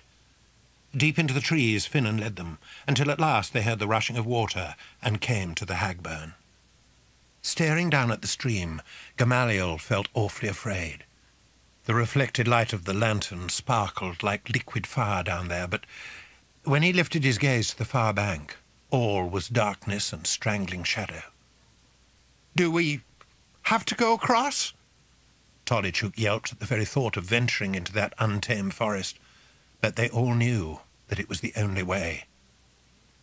There are plenty of leaning boughs to use as bridges, Finnan said, shining the lantern further downstream. We must hurry. Along the mossy edge of the high bank the werlings ran, to where the first of many branches stretched from the far side to their own. It was almost as if the ugly, twisted trees of the forest had been trying to stealthily creep across, and Gamaliel shuddered at the unwelcome notion. Yet into that fearsome realm they were bound to go. Minutes later, standing upon a hostile shore, Gamaliel looked at the unfamiliar trees. There was nothing beautiful in any of them. They were grasping, distorted giants that vied against and throttled their neighbours in what was evidently a daily struggle for light. Beneath the contorted boughs, the air was stuffy and oppressive, oozing between the grotesquely proportioned trunks as a turgid black vapour. From here on, we have to go in the dark, Finnan's voice cut through Gamaliel's thoughts. I don't risk a light. There are too many eyes this side of the stream. Keep your sticks handy, but let's hope we won't need them. Lifting the lantern, he closed its small door. At once, the imprisoning bars of night snapped in around them. We mustn't even call out the Doolans' names, Finnan warned. It's too dangerous. It was a distressing, floundering journey that seemed to take forever in the engulfing murk. Southward they pressed, drawing no ease from the foreign noises of the forest, which all sounded bleak and menacing. Surely we should have found them by now, Lephidia breathed. I think they simply got bored and went home.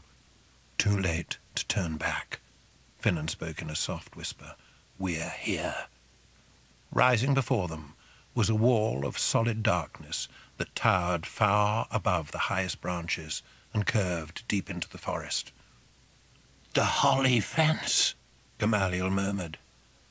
A fortress built from spiky, leathery leaves and choking, knotted growth. It was a bastion of despair. I shall never get through there, Tolly Tuke warbled. Do you really believe Frighty Aggie is still alive? Gamaliel whispered nervously. Taking a step closer, Finnan took a few moments to answer. If she is, then she's right behind this, he said grimly. But Mufus and Bufus aren't, Lephidia insisted. Even if they came this far, they would have turned back. This is an evil place. The others agreed. The atmosphere was charged with malice, and from the holly fence there floated a faint reek of death and corruption. You're right, Finnan decided. Let's go back quickly. When I catch hold of those two truants, before he could finish, a pitiful cry came echoing from beyond the vast hedge, and the werlings stared at one another in horror. They are in there, Finnan hissed. Tolly Tuke backed away in terror. She's eating them. Finnan rushed forward and frantically sought for a way through the evergreen bulwark. Dropping to his knees, he groped at the tangled stems. I can get in here, he called over his shoulder. Wait, Lephidia urged. There's nothing you can do against her. The anguished cry was sent up once more. It was a ghastly, blood-freezing scream, filled with horror and pain. Finnan dived into the gap, and the holly fence swallowed him. Crouched by the opening, Lephidia knew she could not let him go alone. With her heart in her mouth, she hurried after. Singing the childhood rhyme to ward the nightmare of Frighty Aggie away, Tolly Tuke sobbed, and Gamaliel felt helpless. I can't just stand here waiting, Gamaliel blurted, already squeezing into the gap and blubbering dismally. Tolly Tuke followed. Through the narrow, scratching tunnel of holly they pushed, the shiny leaves jabbing into their faces and snagging their clothes. The repulsive stench became stronger, and Finnan nearly yelled when his fingers met a clinging, sticky spider's thread.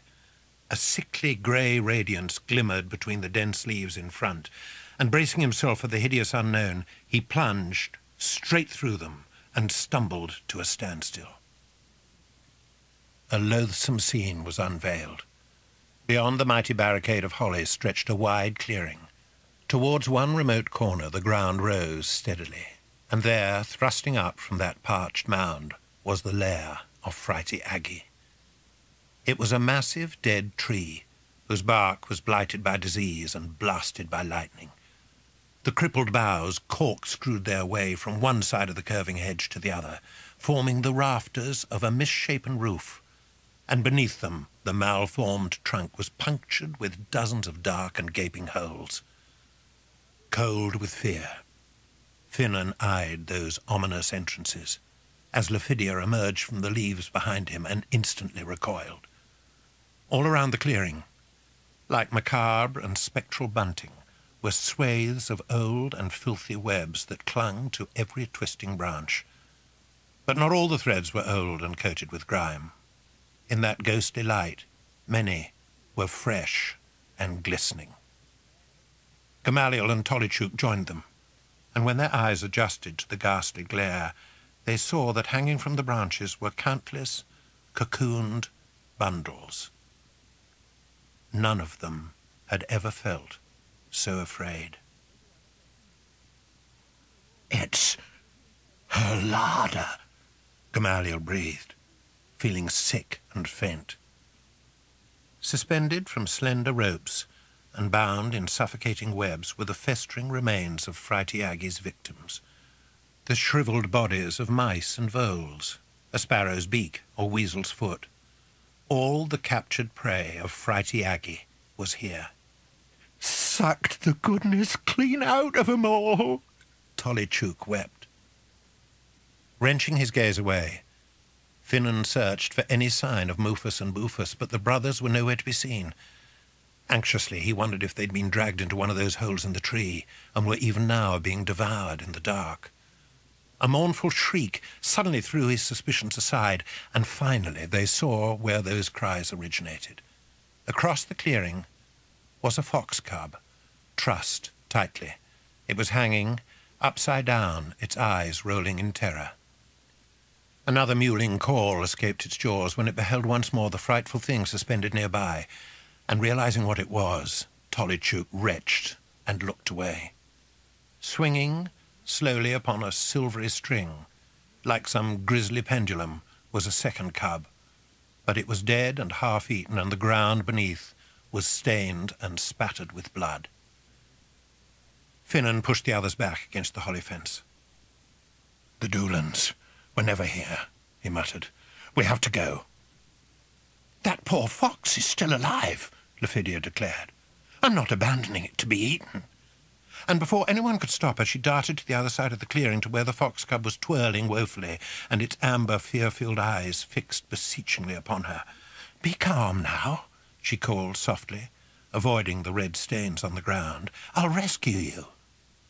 Leaving Tolly Tuke and Gamaliel behind, Finnan ran to fetch her back.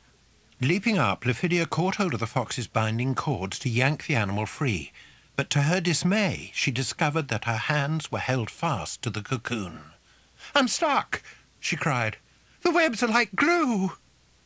Grasping her wrists, Finnan pulled fiercely, but it made no difference. The petrified fox let out a grievous yowl. With a wary glance at the monster's hideous abode, Finnan whirled into a woodpecker. Up the bird flew to where the tip of the cub's tail poked from the sticky bindings, and the suspending strand stretched into the overhanging branches. In one swift, scissoring movement, the woodpecker's beak snipped it in two. Lephidia fell backwards, and the fox cub tumbled on top of her. Down Finnan swooped, wurgling into a stoat whose sharp claws set to work immediately. From the fox's body the tight ensnaring webs were torn, and the young animal wheezed its gratitude while Lephidia wiped the filthy stuff from her hands. But the real peril was just beginning. Staring at the blood-stained ground, Finnan noticed that it had not completely seeped into the dry soil. We interrupted her. Frighty Aggie was feeding when we got here. She must have heard us and slunk away. Where to? Lephidia breathed. Only then did Finnan see a trail of dark red splashes leading from the mire beneath the fox's dead sibling.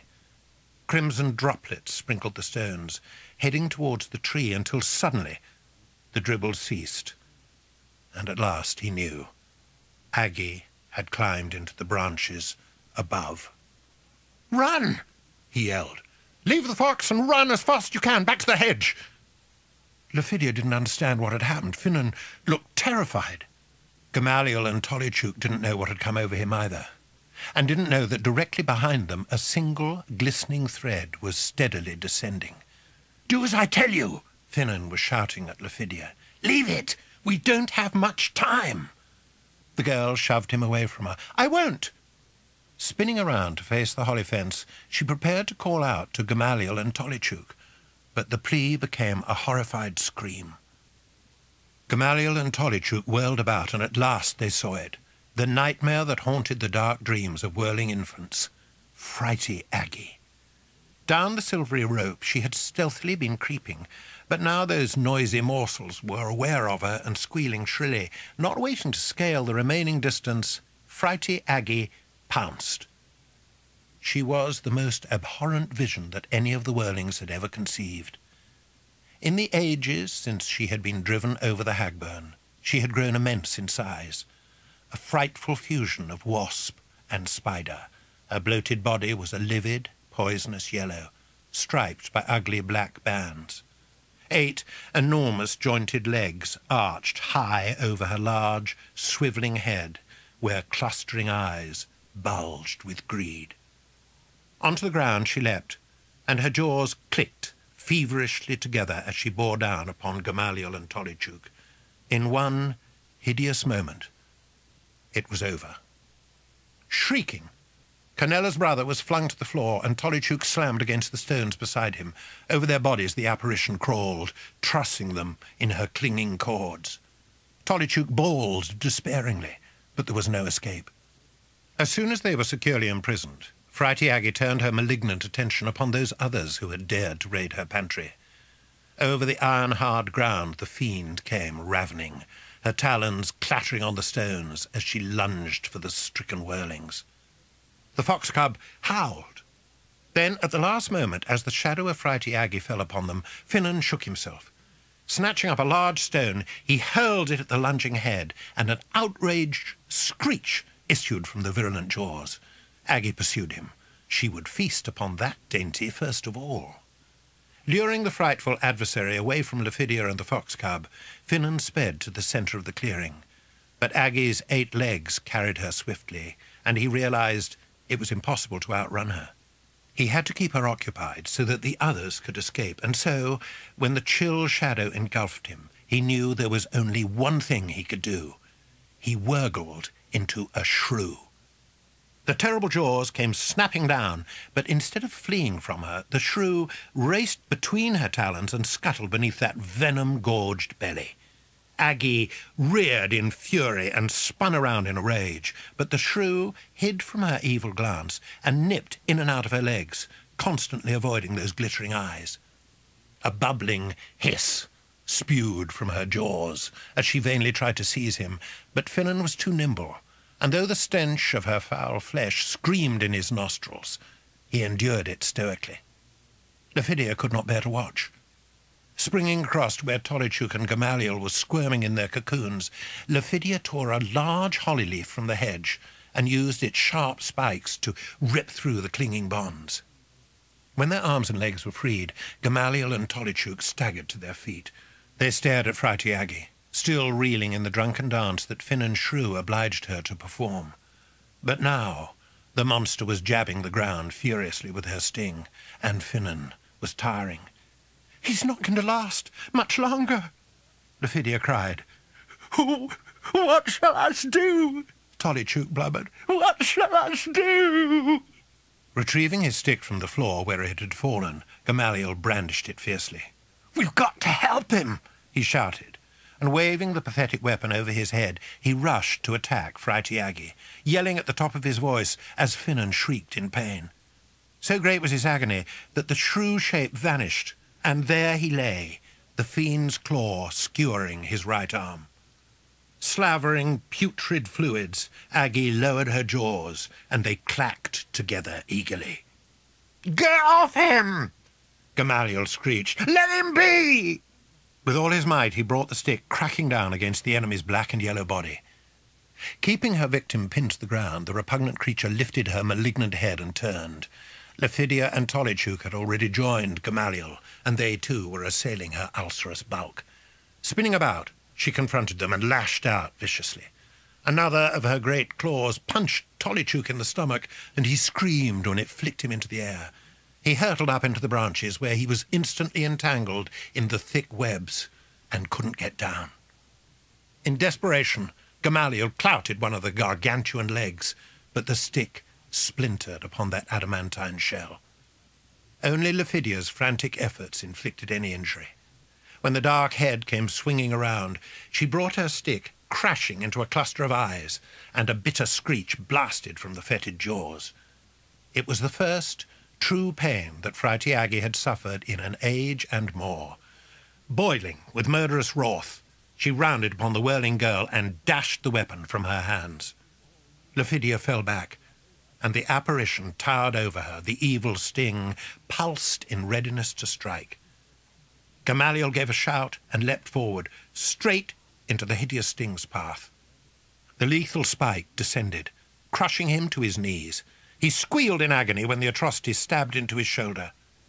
Deeply bit the unholy sting, and when Aggie heaved herself up, once more it tore from her body. Into Gamaliel's veins her pollution pumped, and he collapsed, senseless and deathly still. Speared beneath the claw, Finnan heard the shrieks of his friends and roused himself for one final effort. Using all his fading strength, he strained hard and changed his shape into that of a rat with long, razor-sharp teeth. Twisting around, he lifted his head and clamped his incisors about the apparition's claw. A revolting crack rang out in the clearing, and the rat's teeth crunched clean through the talon, shearing it off. Dark green blood came frothing from the truncated limb and gushed, steaming upon the ground. Gagging on the odious taste, the rat slumped back. His last spark of energy quenched, Finnan wurgled back into his usual shape. There was no hope left. Freytiagi stood over Finnan's prostrate form, her eyes blazing with hatred. The loathly head bent down, and over his wincing features the ragged antennae raked, and a purling gargle sounded behind the clicking jaws. A pale luminous light flickered in Freytiagi's searching eyes, when the probing antennae caressed a small leather bag attached to the werling's belt. A thin, mocking laugh floated down to him, and with that, to Finnan's bewilderment, she left him. Back over the stony ground the horrendous creature crept, her cold, creaking laughter echoing across that drear, death-plagued place and up the mound. Finnan tugged the dismembered claw from his arm and saw Freytiagi haul her vile bulk into one of the diseased tree's many dark holes. There was no time to ponder on why she had departed at the very moment of her victory. Confused and weary, Finnan stumbled to his feet and staggered across to where Lephidia was kneeling beside Gamaliel. The girl lifted her head, her cheeks streaked with tears. I... I think he's dead. The fox cub began to howl again. Angrily, Finnan reached out to draw the vile sting from his dead friend's body. Suddenly, a stern, unfamiliar voice shouted, Don't be a fool, boy! The werling spun around to see a tall, shadowy figure come crashing into the clearing. Are you so ignorant of the Wurhag's ways? it demanded. Who are you? Finnan yelled. Keep away! The stranger stepped closer. He was four times the height of the Werlings, but Finnan rose to confront him. You'll not be much use in a fight with that poor arm of yours now, the newcomer said gruffly, pulling a small knife from his belt and springing forward. Pushing Finnan out of the way, he raised the blade above Gamaliel's body and plunged it into his flesh. Lephidia shrieked and flew at him, but Finnan pulled her off. Wait, he told her. Look what he's doing. Startled, the girl watched as the knife sliced a red circle in Gamaliel's shoulder, deftly carving out the flesh in which the sting was impaled. A leathery hand was then clamped over the hollow wound, and Fratiagi's ghastly weapon was flung away in disgust. Returning his attention to the werlings, a solemn smile appeared in the newcomer's grizzled beard. You'll uh, forgive Smith's manners, he excused himself. But if you'd pulled that accursed tickler from your friend, he'd be well dead by now. Lephidia and Finnan gazed at the wandering Smith in astonishment. Are you saying Gamaliel's still alive? Um, barely. Picking Gamaliel from the floor, he strode back across the clearing to the great hole he had made in the holly fence. Smith has pitched his camp yonder, he told them, sweeping the fox cub up in his other arm. He can do more for your companion there. Nursing his own wound, Finnan began to hurry after the smith, but Lephidia hesitated. Aren't we forgetting something? High above them, a forlorn voice wailed. Help! Get me down! Still snared in the dirty festooning webs, poor Tolly Tuke snivelled miserably. The smith turned and chuckled. Thimblegrave, he commanded, fly up and be the sword. Cut away both web and cord. From its sheath a little knife came shooting. Up into the branches it spun, cleaving a glittering arc. Into Fratiagi's clinging nets the knife went, slashing and hacking at incredible speed, and suddenly Tolly Tuke tumbled from the branches to land with a terrific bump, but he was too relieved to be out of the filthy cobwebs to yelp. Thimblegrave! the smith called. Home! The knife rocketed from above and slid back into its sheath. If that's the last of your party, the smith said, we'd best get gone. And he strode into the hedge, leaving the others to hasten after. The wandering smith was camped only a short distance away, and presently they were warming themselves in the merry flames of his fire, while he tended to Gamaliel's shoulder. Lephidia fed the fox cub some warm milk that the smith had given her, and the half-starved animal nuzzled lovingly against her, while Tolly Tuke gazed curiously at the smith's handcart. It was a rickety, much battered contraption, but it was the contents that fascinated Tolly Tuke. There were iron pots, shapely ladles, a collection of swords, knives, goblets, metal helms, similar to the one the smith wore, a kettle whose spout was shaped like a leaping fish, copper lanterns pierced with hundreds of tiny holes, a cowbell, plates of tin, a wooden chest containing a wealth of talismans and amulets like those he wore about his neck and had used upon Gamaliel. Over the side of the cart, a vast array of spoons hung upon a length of wire. Yet, in among that abundance, Tolly Tuke saw other things that he did not like the look of. Small bronze statues with fearsome faces, effigies of ancient forest gods and fire devils.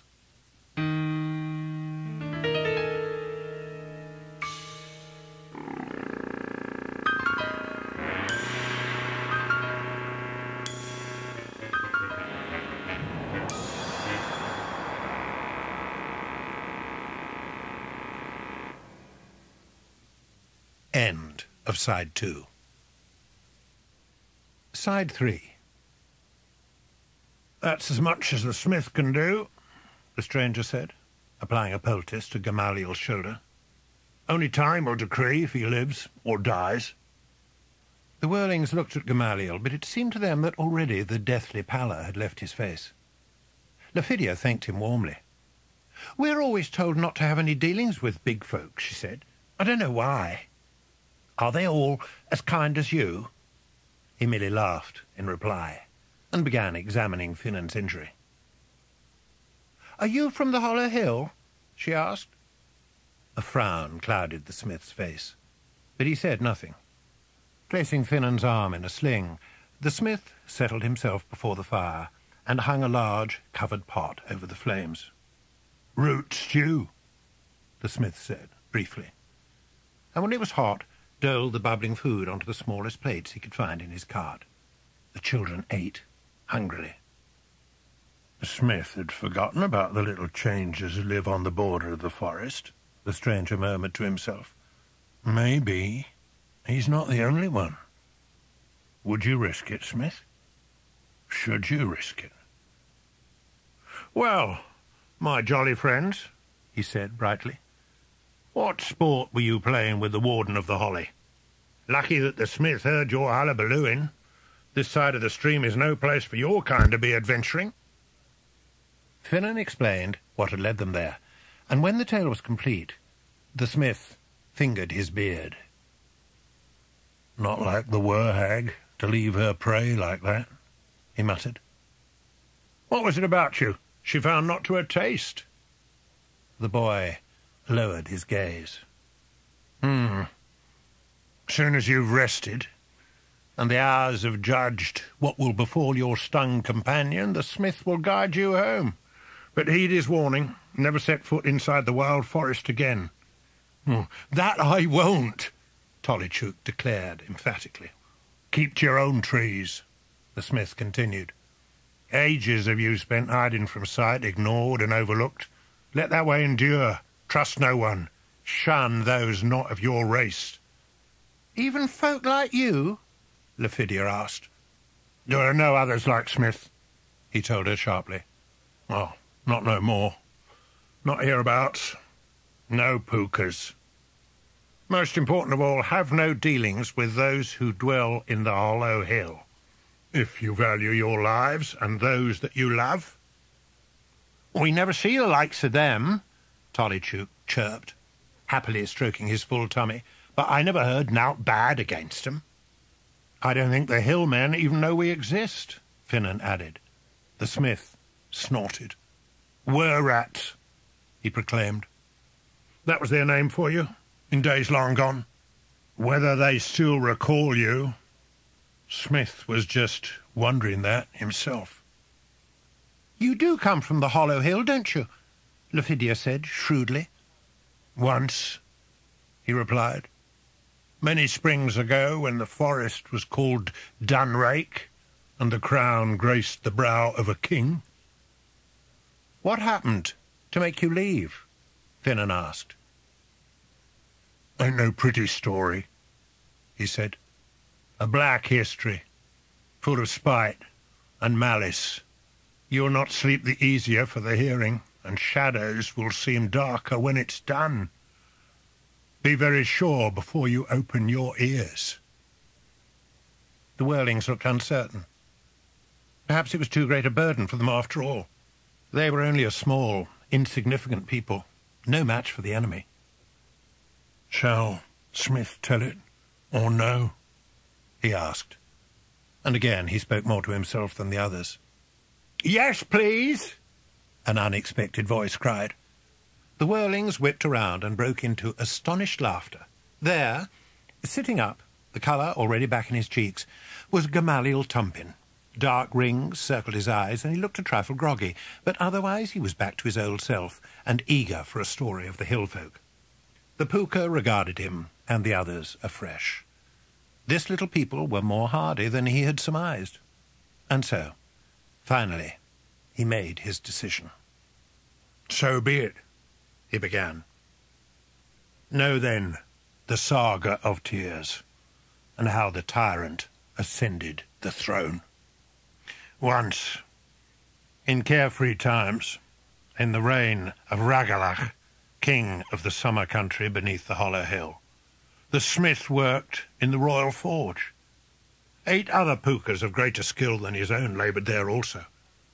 To shoe the royal steeds with silver and fashion bright armour for the goblin knights was their chief toil, and their work had no rival.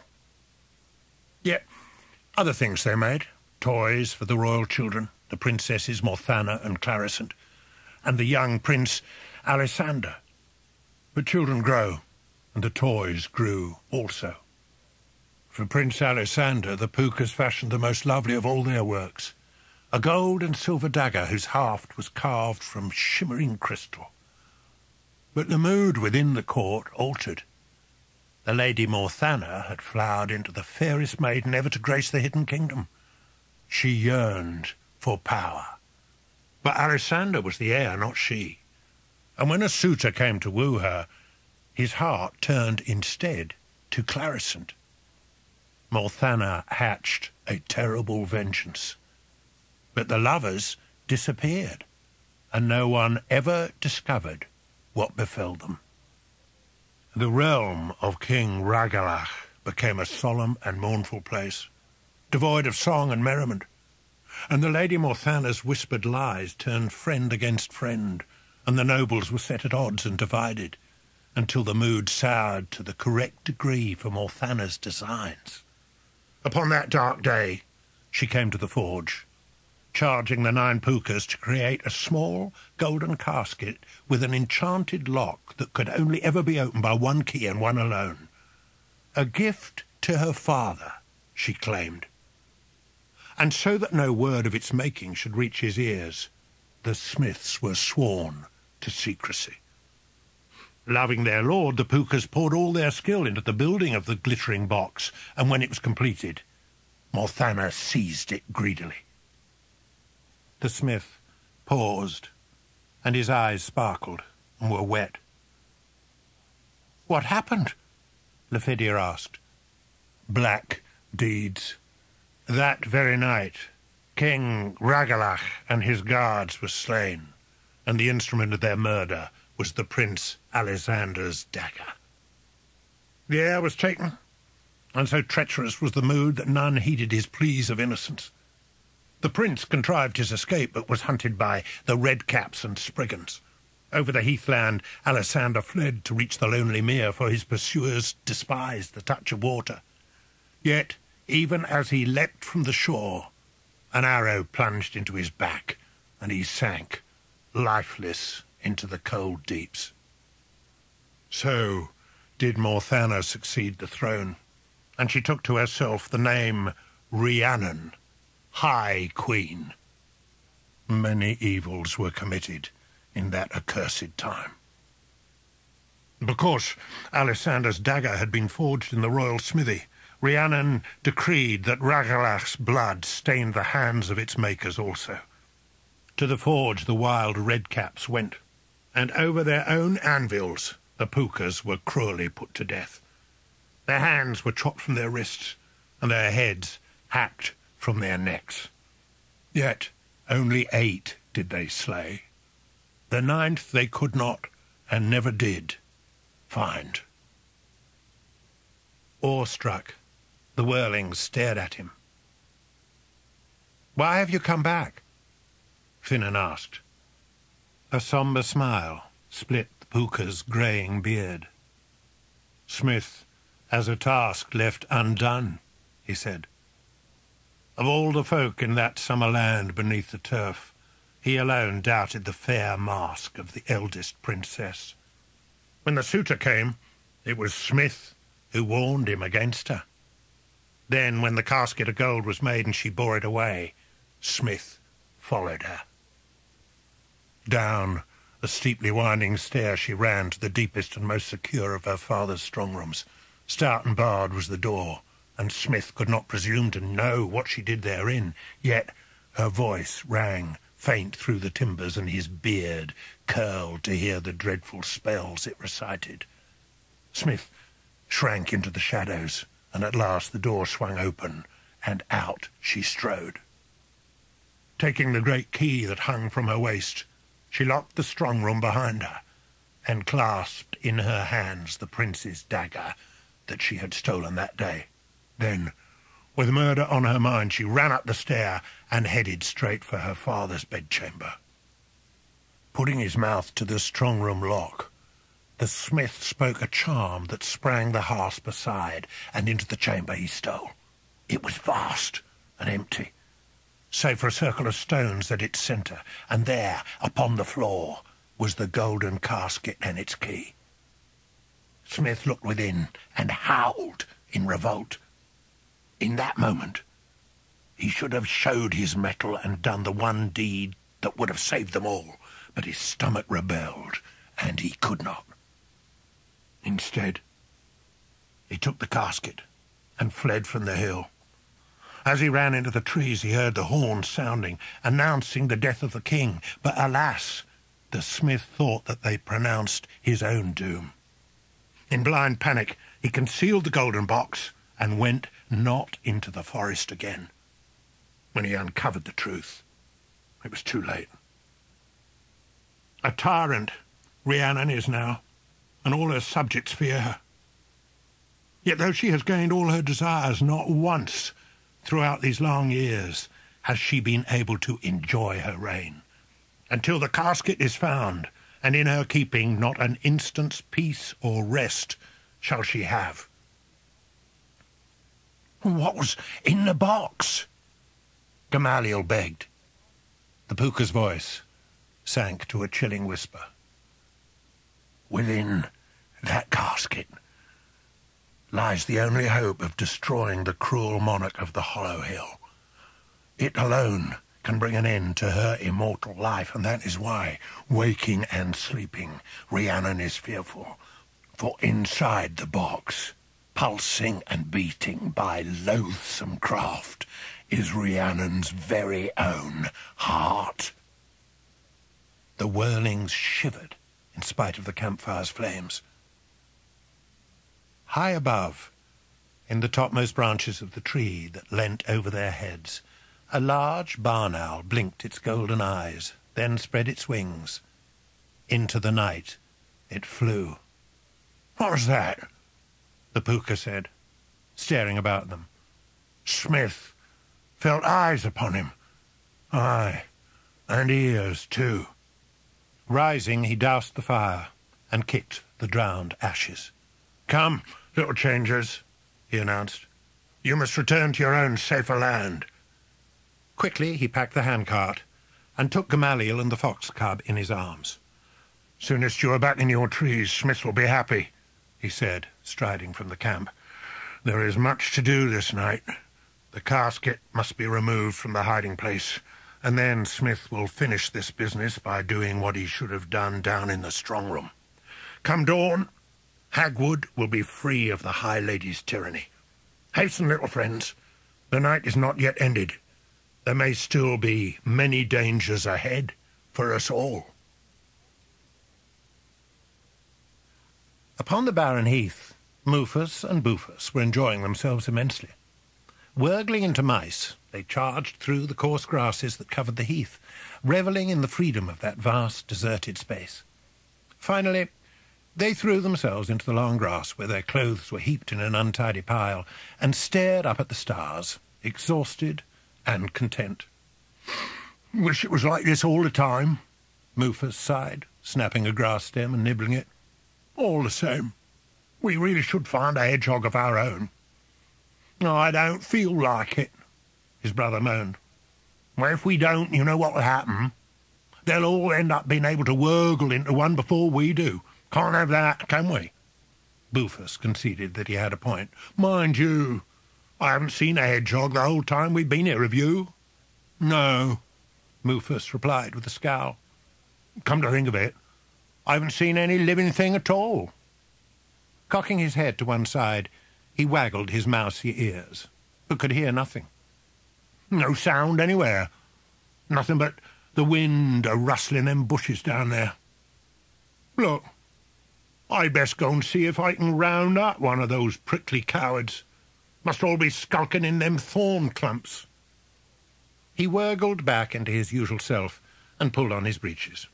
Watch out, hedgehogs! Mufus Doolan is coming to get you. Cackling like a little demon, he marched through the coarse grasses, down to where the thorns obscured the shores of the lonely mere. You can't hide from me, he called in his spookiest voice. There's no escape. Your doom is nigh. To the very edge of the thorns he went. The twigs shook, and Mufus straightened. Something peculiar was happening. Gazing up at the quivering branches, he suddenly realized that the wind was not strong enough to make them bow and bend like that. Mufus began to grow uneasy. Then Mufus thought he heard a malevolent, rasping voice hiss behind him. Come, come to dark, snag at once. The werling whisked around. Who's that? he demanded. The twigs rattled all the more, and Mufus became afraid. Bufus! he shouted in alarm. Black shapes were moving in those tangled depths, and the werling took a frightened step backwards. At once a pair of pale eyes snapped open in the murk. Mufus wailed for his brother, and then, to his horror, the thorn bush he was standing by reared upward. From the grass the ogre rose, its buckled legs creaking.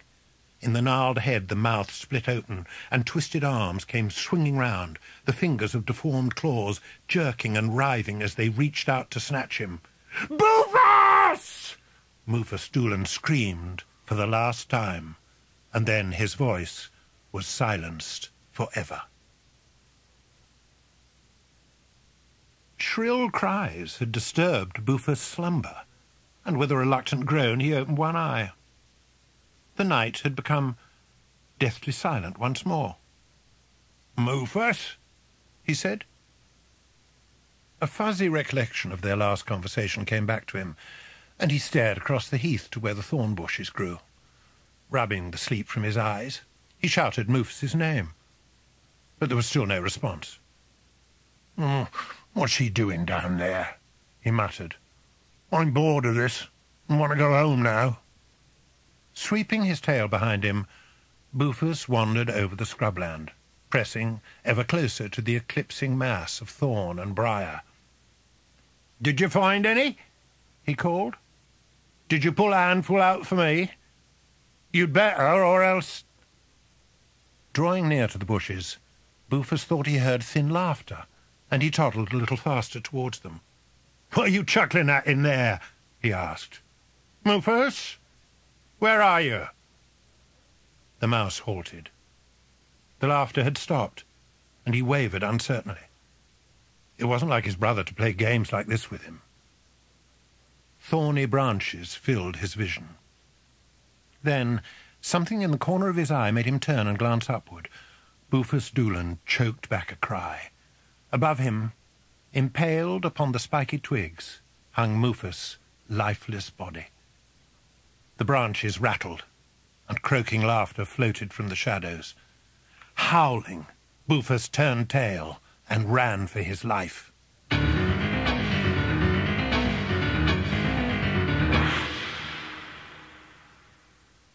When they finally crossed the Hagburn and stepped back into their own land, Finnan and the others breathed great, glad gulps of the air.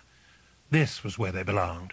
Here, in this pleasant corner of Hagwood, where the trees were tall and beautiful, and all was safe and familiar. It was when they arrived at the Tumpin home that they discovered that evil had already entered in.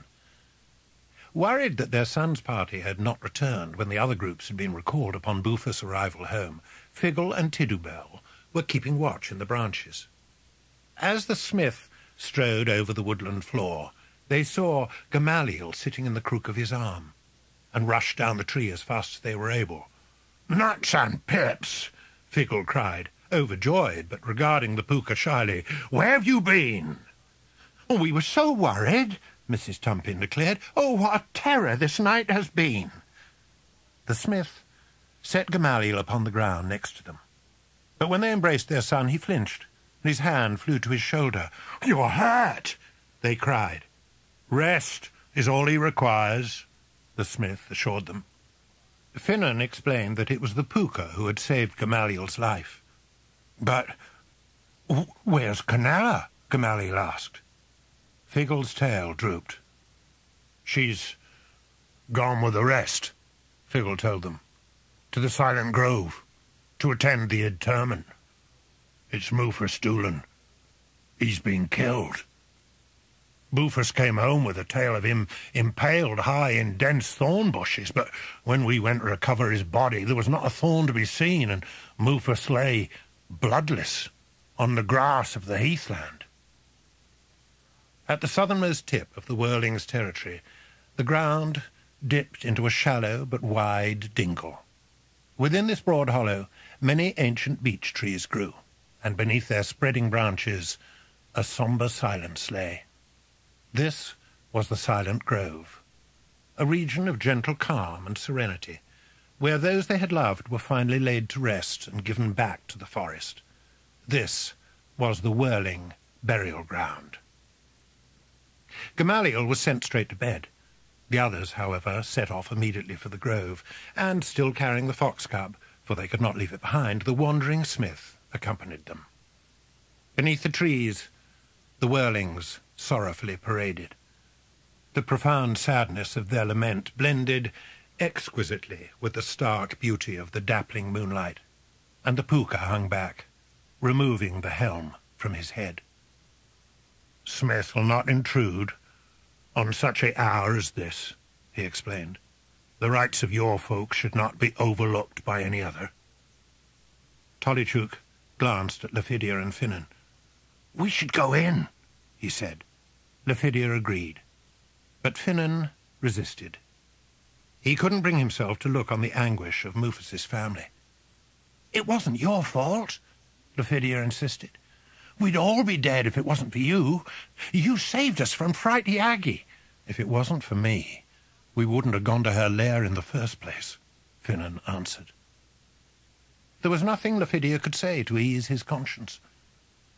With Tolly Tuke bumbling alongside, she pattered down the bank. The pooka turned to the werling boy. Regret and guilt, he began gruffly. Tie you up tight as the werhag's webs they will. Don't you reproach yourself over things outside your control. The foul servants of Rhiannon committed this awful murder. Vile things they are. Malignant horrors spawned in the blackness of her thought. Finnan found no comfort in his words, and the unlikely pair sat at the edge of the silent grove, locked in their own private brooding.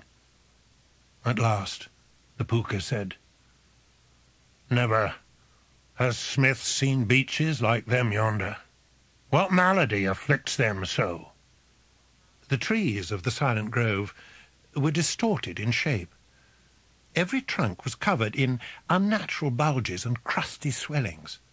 Up into the high, sturdy boughs the tumorous growths reached. They're not diseased, Finnan revealed. It's us.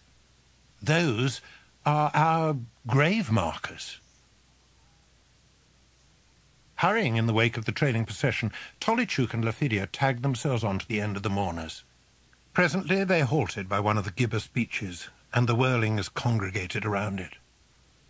Arms outstretched, Master Gibble stepped forward, and in a loud, imploring voice called, Blessed Beech, Mother of the forest you are, here we have brought to you one of your sons. Receive and keep him, we beg. Slender ropes were tied to each of the bier's four corners, and Master Gibble clambered up the tree composed and dignified. Two stout and strong werlings, bearing the four ropes, followed him, and ascended even higher, throwing the lines over sturdy branches above their heads. When they were in position, Master Gibble gave the sign, and they began to heave on the cables. The Wurgelmaster spread his tapering fingers over moderate undulations in the beech tree and pressed his lips to the bark. Then, in a low, worshipful voice, recited, Beech, beech, blessed beech, within your timbers our long past slumbers. Great is that list of those we have missed, but open and keep another who sleeps. Take him now away from reach. The mourners at the base of the tree joined their hands and closed their eyes. Almost imperceptibly they began to hum, one long, protracted note, and in response the branches of the tree shivered and swayed. From the bottommost roots a slow tremor rippled up the trunk, flowing up into the branches in a spiralling wave, surging just below the knobbed surface. Upon the quivering branches tiny buds burst forth, blossoming with purple tassel-like flowers that danced and trembled. Their rustling was like a whispering music that made a fragile harmony with the humming of the werlings. In the heart of every bloom, a bright dew burned with a golden light, and the welling radiance streamed through the grove, dispelling the midnight gloom. The bark, beneath Master Gibble's palms, rolled and pulsed. Then, with his fingernail, he drew a line along the soft and mushing rind. Into the yielding wood the mark sank, becoming a furrow that deepened into a crack which became a cleft, creeping wider and wider apart until a great hole had opened up in that mighty bough. A delicate fragrance arose from the strange chasm, and the tutor's nostrils quivered. Raise him, he called to the rope handlers. Over that newly gaping gulf, the stretcher was heaved into position, and Master Gibble guided its course with his spindly fingers. Blessed Beech, he called aloud, you are the book in which our forebears are recorded. Closely do you keep their names from first to last, accept then another, to guard and protect him in the mansion of the dead. Here is Mufus Doolan, outside our care now. Thus unto yours do we commend him. The ropes that tethered the stretcher by Mufus' feet were lowered gently, and the boy's body slid down into the waiting grave. Slowly, the bark closed together, sealing Mufus within for as long as the tree should endure. The scintillating light grew dim, and the mysterious blossoms fell from the branches. The resonant humming faded to silence, and the tree ceased its trembling. It is done, Master Gibble proclaimed. The ceremony was over, and the mourners began to disperse through the grove, pausing at certain trees. Some of the werlings caressed the rugged projections, while others watered the ground with tears. The growths, the smith said. Why are they so uneven in size? It has to do with how strong the wurgling gift was in whoever lies there. The really big bumps show where a grand wurgle master is interred. It affects the wood somehow. The Lufkin tree is over there. Hmm. the transforming skill must run mighty in your family, the Pooka observed. Yon Lufkin tree seems fair to rupturing. But the night grows old, and Smith has the great matter to attend to. By morning the land may be cleansed, and there will be no more slaughter of children. Will you come back? Finnan asked. The Pooka smiled grimly. On that, there's no doubt. Smith will have to. Finnan wondered if there was more to those words than he could guess, for the Pooka had looked at him strangely. The silent grove was deserted. The mourners had returned to their homes. All was quiet and hushed once again. Finnan glanced cautiously around him, then stepped down into the tranquil dingle. Purposefully he strode towards the tree that housed the deceased members of the Lufkin family, and standing in its shadow, he lifted his face. It was wrung with remorse and shame.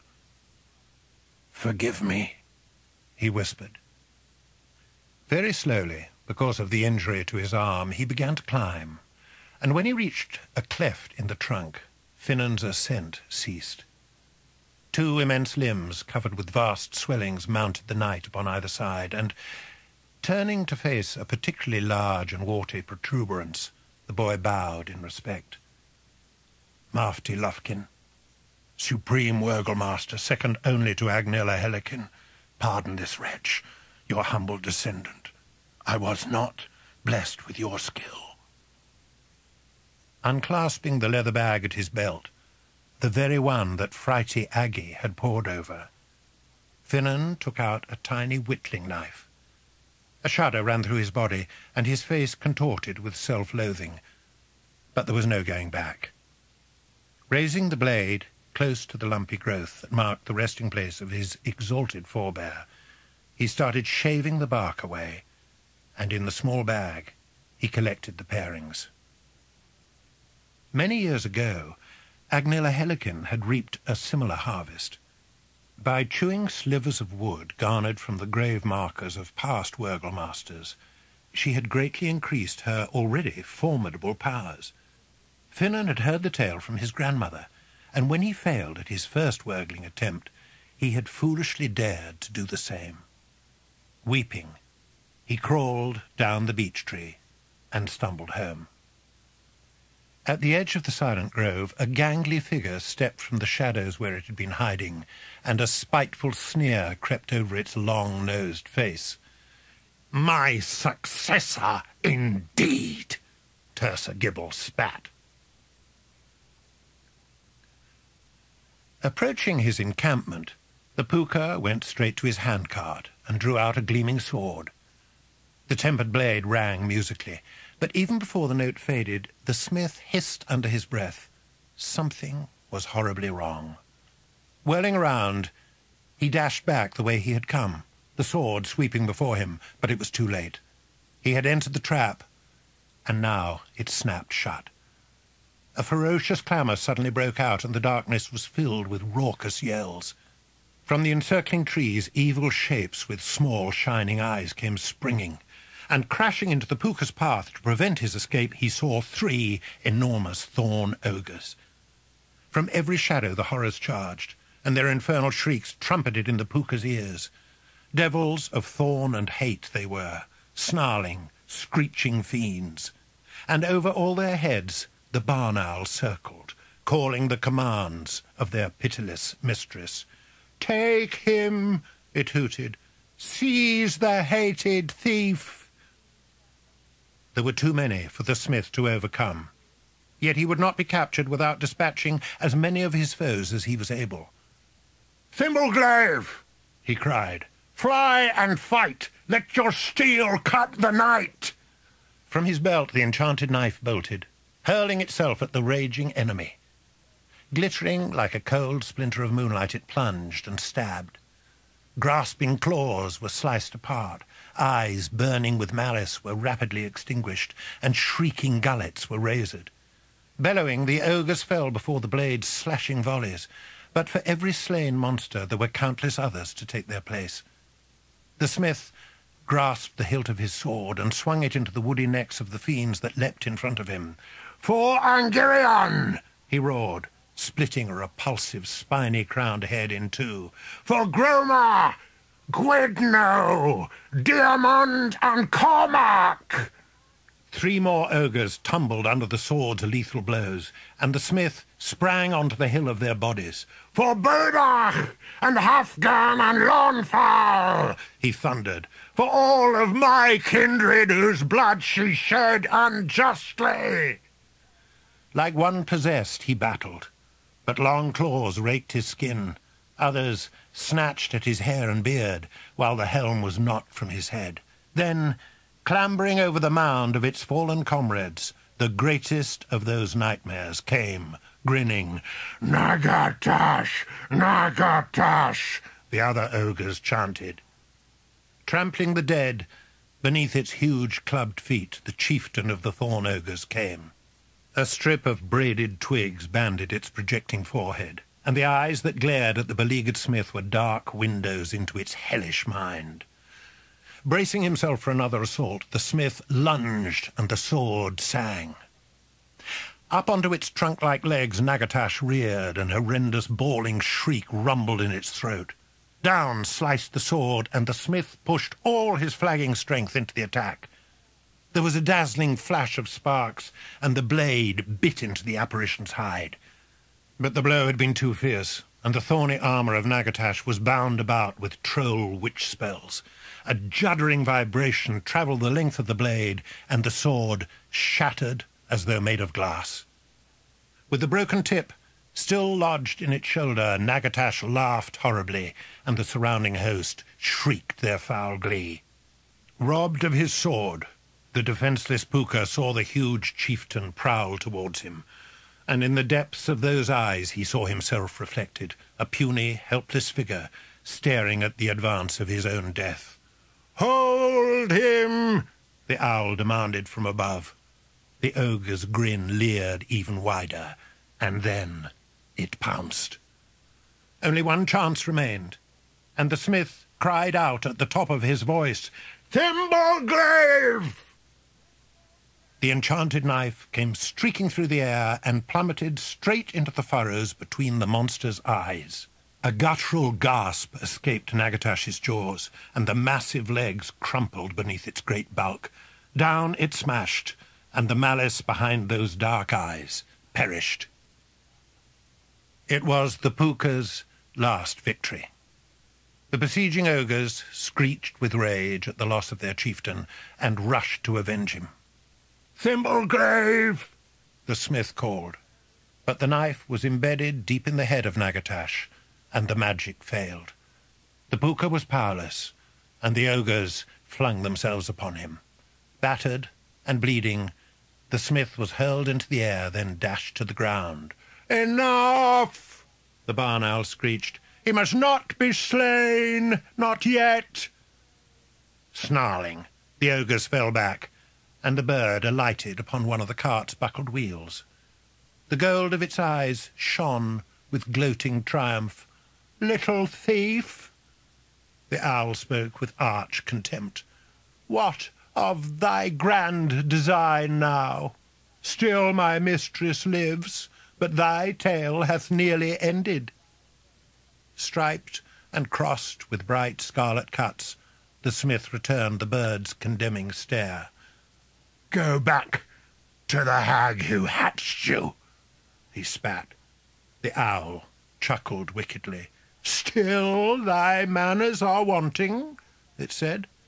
I charge thee to yield that which thee did steal, return that precious property unto its rightful owner. It was the Pooka's turn to laugh. A bleak, piteous sound in that awful place. Little good would it do her, he scorned. Nay, only Smith could put that thing to any use. You will never learn its whereabouts from his lips. Shall I not? the owl retorted. Many are the devices in the dark dungeons of the cold hills, diverse instruments to gouge and draw. By the morrow the torture masters will have picked the lock of thy insolent tongue. Racked with fatigue, and weakened by the stinging pains of his wounds, the Pooka was filled with dread. Under torment he might indeed divulge where the casket containing the High Lady's heart was hidden, and he cursed himself. On to the mound of slaughtered ogres, Snagget, a rat-like, thorny imp, went bounding to get a better view as they carried him by. Revelling in the Pooka's distress, it capered madly, clapping its hands and gibbering, Pinch! Punch! It yapped. More squeals! More squeals! Snag it like! Snag it like! Stick it! Poke it! As it was prancing, the creature's squint eyes fell upon the smith's dagger, still lodged firmly in Nagatash's skull. It licked its lips covetously. Snag it! Want! Grasping the handle, the ogre tugged. Flapping with frustration, it planted one foot squarely on the dead chieftain's brow, then took hold once more and heaved. Snag Snagget, have! It growled. The dagger twisted in the wound, and a trickle of Nagatash's blood oozed out. Snagget, take! came the straining shout. With that, the blade sprang from the monster's skull, and Snagget somersaulted backwards. At once he scurried back to the top of the heap, flourishing the dripping blade as he danced a clumsy jig. Mine! Mine! he shrieked. The imp's crowing cries rose above all other noises, and the Pooka craned his head to look on that frolicking creature. Embers of hope burst into new flame within him, and a grim smile parted his beard. Thimble glaive, he murmured.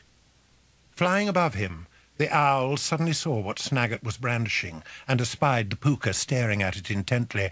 Cover his mouth! The bird squawked in alarm. Stifle his words! But it was already too late. Trusty knife, trusty knife, the Pooka had muttered. Fly to me and take my life. From Snagget's unsuspecting claws the dagger flew. Up it soared, scribing a bright, clear, and graceful line in the air. Then down it came.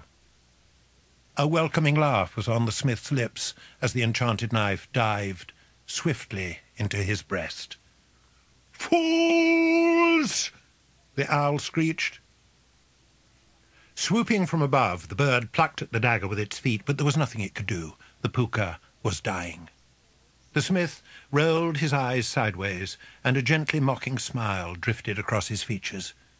His last glimpse of the living world was of the night-clad trees nearby, where a slender figure stepped from the gloom, wrapped in a mantle of shimmering shadow.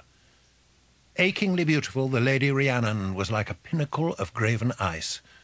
No light sparkled in her large, loveless eyes, and she regarded the Pooka with chill disdain.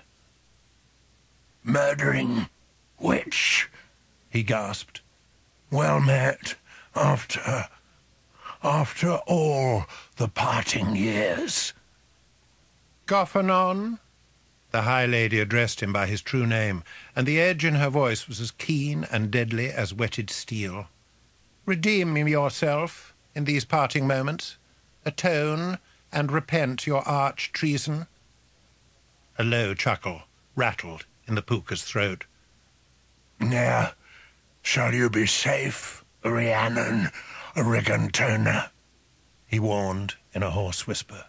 The box you do not and shall never have. Your own ending approaches with the far sight of those close to death. Smith sees it truly. A fire he has kindled, and in its heat your doom is ready wrought. Your vile works will crumble, and you will burn in ruin. Smith goes with a glad heart, for he has denied you yours. The smile remained traced upon his lips, but the wandering Smith spoke no more. We are displeased, our provost, the Lady Rhiannon spoke to the owl, we have not bided his long absence to be hindered here at the last. Tear his poultry cart to pieces and examine his peasant belongings. If you find naught there, then scour every inch of this squalid woodland. The casket must be found. The owl bowed before her, and with a final maleficent look at the Pooka's body, the High Lady moved back into the dark. There was a flurry of fallen leaves, and a chill wind blew through the forest. What of the thief, mistress? the bird inquired. Her voice came floating from the invisible, and it was frozen with contempt. Let our pets search him to his very marrows.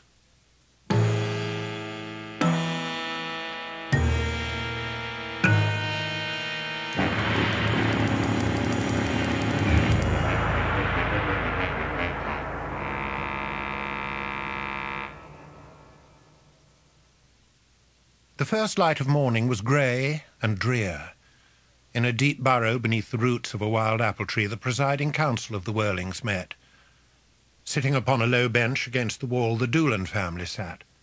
Bufus stared at the floor, waiting to be called to give his account of what had occurred. But all that he wanted was to have his brother back. Across the chamber, Finnan, Lephidia, and Tolly Tuke sat. It had been decided that Gamaliel's testimony could wait until later in the day because of the injury to his shoulder. That, and the fact that his mother stubbornly refused to waken him at that early hour. Taking up a small ceremonial hammer, a wrinkled werling called Diffie Maffin pronounced the meeting open. Great is the sadness that hangs over our land this day, Uri Mattock stated.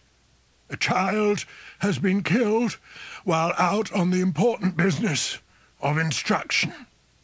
The exact circumstances must be investigated and established so that no such incident will ever befall us again. Let the first witness approach the council, Irvin Goylock called. Lephidia Neffin, step forward. Lephidia obeyed and gave a true account of how the Doolans had disappeared and everything that happened afterwards. The expressions of the council members dissolved from portraits of dignified sobriety to caricatured masks of amazement. Finally, when they heard how Finnan had fought Frighty Aggie, one of the elders, Benwin Ortle, slapped the table to interrupt her. Stop, girl, he demanded. What nonsense is this? How dare you mock us with your lies? I'm not lying, she retorted. That's just what happened. Well, how can you not believe me? The six councillors spoke amongst themselves, and Tersa Gibble uttered something in a whisper. Mr. Mattock addressed Lephidia again. Is it true, he began, that you find the furbishment of Wurgle pouches to be cruel, and that you had never believed in Frighty Aggie before you began instruction? Did you not, in fact, wish to wurgle into an insect? Yes, but I don't see what that has to... Stand down, Irvin told her. You're an unreliable witness. Tolly Tuke Umble Napper, come forth. Flushed and angry, Lephidia returned to her seat and Tolly Tuke bashfully went to stand in her place. It was um, Doolan's fault, he burbled. Well, how were they to blame? Course they scarpered and left us. They went into the wild forest, and you followed them. Is that it? Yes. Or, leastways, no. They didn't actually go that way, but, but Finnan thought they had. Diffie-Maffin frowned. And is that where you met the outsider? she asked. Why did you consort with him and bring him to the interment? Tolly Tuke sniffed unhappily. He saved us, he said. Well, Lephidia Neffin has told us that it was Finnan who saved you. the story changes at every turn. Oh, he, he did, Tolly Tuke cried. Th them both did. Then old Smith, he gave us a root stew. nice it were. The councillors blinked at him. Are we to understand, Uri Mattock said, incredulous, that while Mufus Doolan was being murdered, you were not even searching for him, but enjoying a hearty supper? Tolly Tuke's face rumpled, and he began to cry. Sit down, Uri commanded. Next it was the turn of Bufus Doolan, and the council regarded him kindly. Uh, in your own time, Mr. Mattock prompted in a sympathetic voice. Why did you go to the heath? Bufus cast a sidelong glance at Finnan and the others before speaking. Oh, Mufus. Mufus and me, we, we just went. I, I know we shouldn't have, but we couldn't help it. Did you see what happened to your brother? Who or what committed this fiendish crime? Bufus shook his head wretchedly. Why did you not tell anyone where you and Mufus were headed? Irvin asked. The boy lifted his tear-stained face. Well, we did. Well, Lufkin knew we wanted to go to the Heath. We'd said so. Well, he should have come fetched us, but he didn't. He was supposed to. We didn't. No, no better. The eyes of the councillors fell upon Finnan Lufkin, and Bufus's father spluttered, It's his fault! His fault! My son's dead! Diffie-Maffin called for order to be restored, and when a brittle calm had settled, Irvin Goylock called, Finnan Lufkin, step up! The hero of the werling children stood before them. Lacing his spindly fingers together, Tersa Gibble eyed him coldly. Is it uh, true? Benwyn Ortle asked. Did the uh, Doolan twins tell you they wanted to go to the Heath? They did. Lephidia called out. But they wanted to see the holly fence as well. We all thought that's where they were headed, not just Finnan. Uri Mattock took up the questioning. Do you also admit that you purposely wasted precious time with an unknown vagrant? Finnan stared at Mr. Mattock. We weren't wasting time. The Wandering Smith told us of the High Lady and the Hollow Hill. What have they to do with us? Mistress Maffin exclaimed. Everything, Finnan replied, his temper simmering. There's something big going on out there. It was the servants of the Lady Rhiannon who killed Mufus. The Smith is the only one who can save us. If he fails, then there'll be more murders and nowhere will be safe. We ought to be out there helping him. Silence! Uri shouted. It is now plain to see where the impressionable minds in your charge learn their prattling falsehoods. How dare you utter such wicked lies about the royal folk of the hill? You are nothing but a, a lying coward. Is it any wonder the Doolan children desired their own company away from you? Master Gibble, Uri entreated, I look to you for guidance. It is evident that the blame of this tragedy lies with the Lufkin lad. What course shall we take?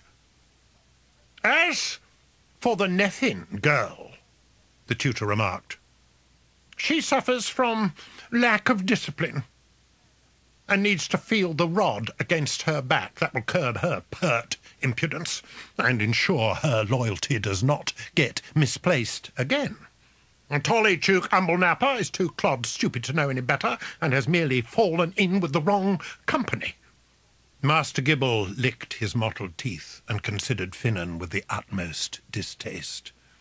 For you see, there has flourished in our midst a most hideous criminal, an assassin of all that we cherish and hold dear, a most heinous and obdurate poltroon, a mucid abscess that must be cut from our bodies. Behold the vile dissembler. See what foulness he has been perpetrating. The tutor's hand snatched a small leather bag from Finnan's belt and emptied the contents onto the floor. Out fell the chippings Finnan had taken from the silent grove, and uttering a dismal groan, the boy closed his eyes. His horrible secret was out.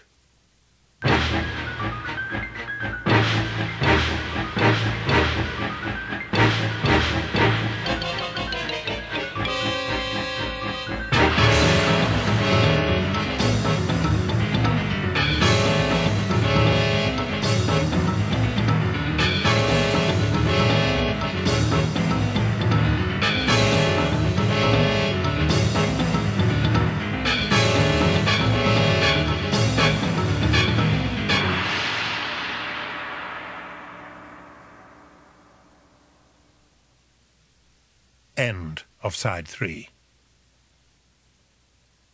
Side four. Gamaliel Tumpin awoke at noon. His dreams had been dark and troubled, but the sleep had refreshed him, and now he felt ready for the day. Everything the smith had told them was still bright and terrible in his memory, and he looked around for his clothes so that he could go and discuss it with the others. In just a few minutes, he was hopping up the passage, pulling his shoes on, when he heard a sound that made him falter. It was coming from Canella's room. She was crying. Puzzled, for he didn't realize that his sister had been especially fond of Mufus Doolan, he ventured to her doorway and peeped inside. With her face in her hands, Canella sat on a stool, weeping and snivelling. Gamaliel had never seen her so upset. It's Finnan, Canella wailed. He lied to me. He lied to everyone. He weren't no better at wurgling than the rest of us. He weren't cleverer or gifted at all. He was going to the silent grove and stealing slivers of wood from the trees to increase his Wurgle powers. Oh, Gamaliel, he were chewing and eating them. It's so disgusting. How could he? Gamaliel drew back, aghast. No, it can't be true. Finnan wouldn't do anything like that. But he did, she blubbed. Master Gibble saw him. Finnan's crime appalled Gamaliel. But the longer he thought about it, the more he understood the reason. If anyone knew about the pressures of wurgling instruction, Gamaliel did. Had he known about the powers that the Wood of the Silent Grove possessed, would he have resisted the temptation? He was not certain. You don't hate Finnan, really? He told his sister. Canella sniffed. Don't matter if I hate him or not. When they heard what he'd done, the council sentenced him to exile. Finnan's been banished, sent over to Hagburn. I'll never see Finnan Lufkin again. Gamaliel could hardly believe what she was saying. Why didn't you wake me? Why didn't you tell me? I should have been there. I could have done something. Anger boiled.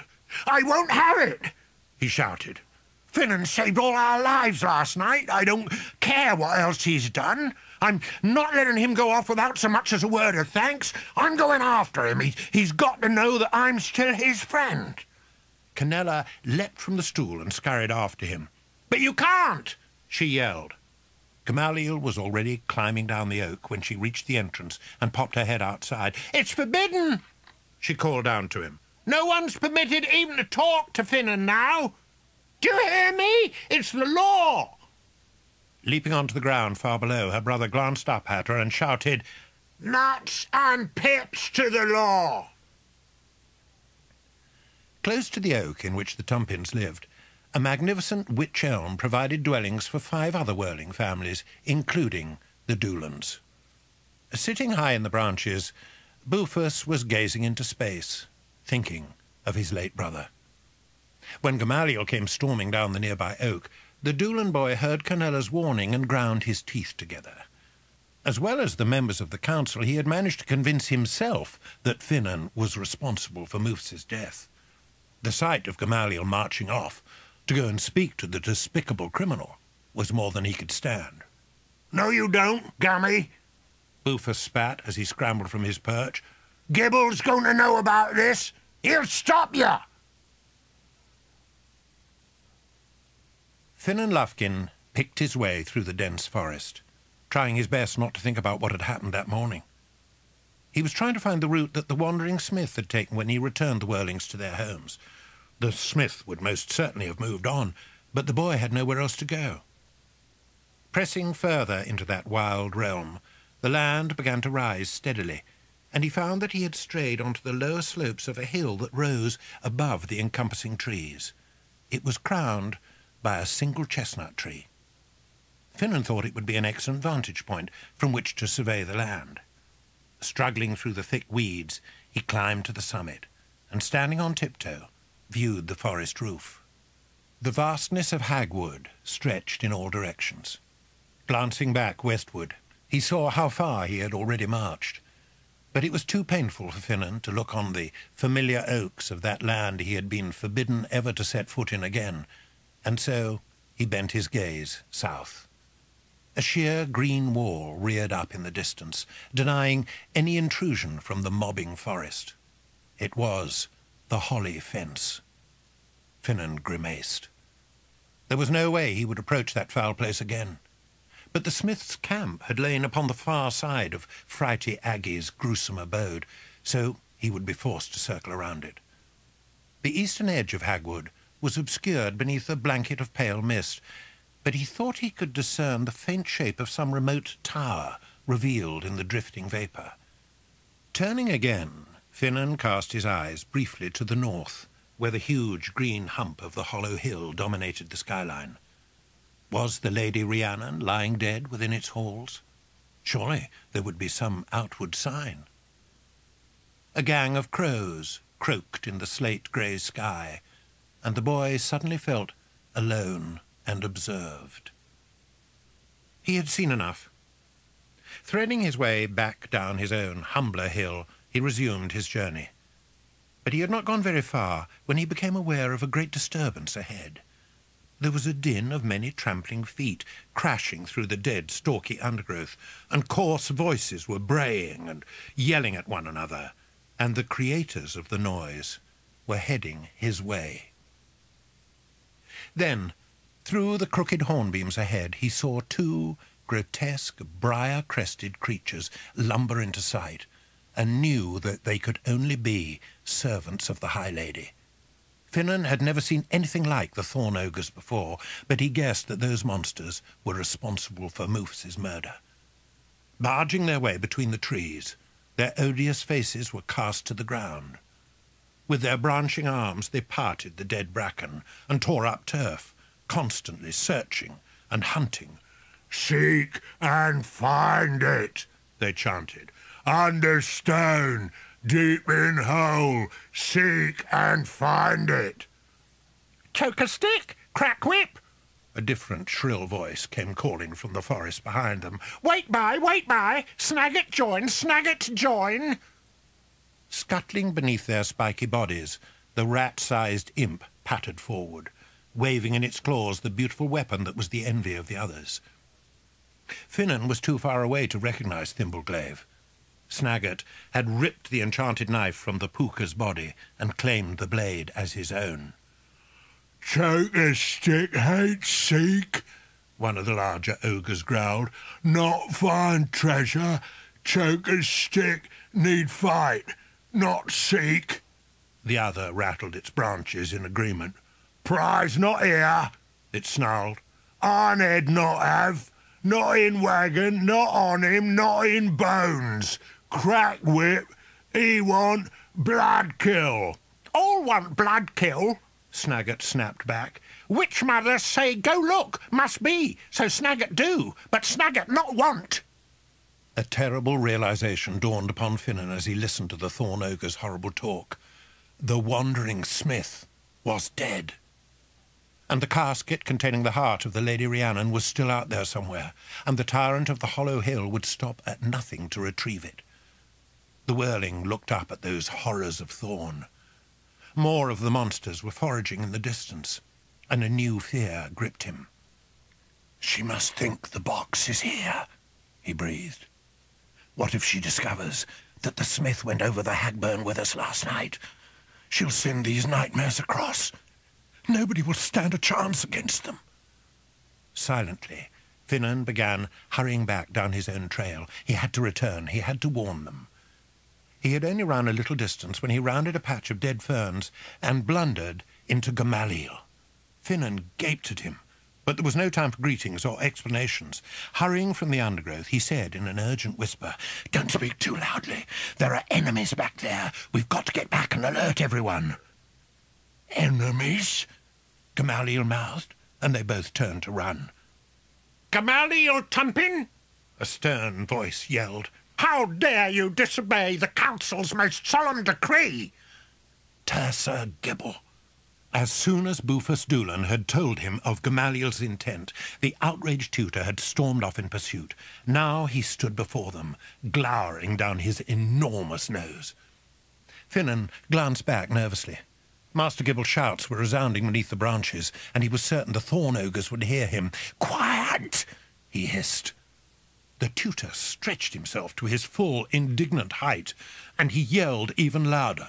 You have the audacity, he squawked, to order me to be silent? You! I am Tersa Gibble, the great grand Wurgle Master. What are you? Nothing. The dirt between my toes has more honour and worth than you. Whatever you say, Finnan uttered fearfully. Just as long as you shut up! But the harm had been done. Just as Master Gibble drew breath, inflating himself to give vent to more scathing bile, a tremendous crashing thundered through the trees. Run! Finnan cried. Tersa Gibble flicked his head left and right as they dodged around him. Well, come, come back here, he commanded. What is?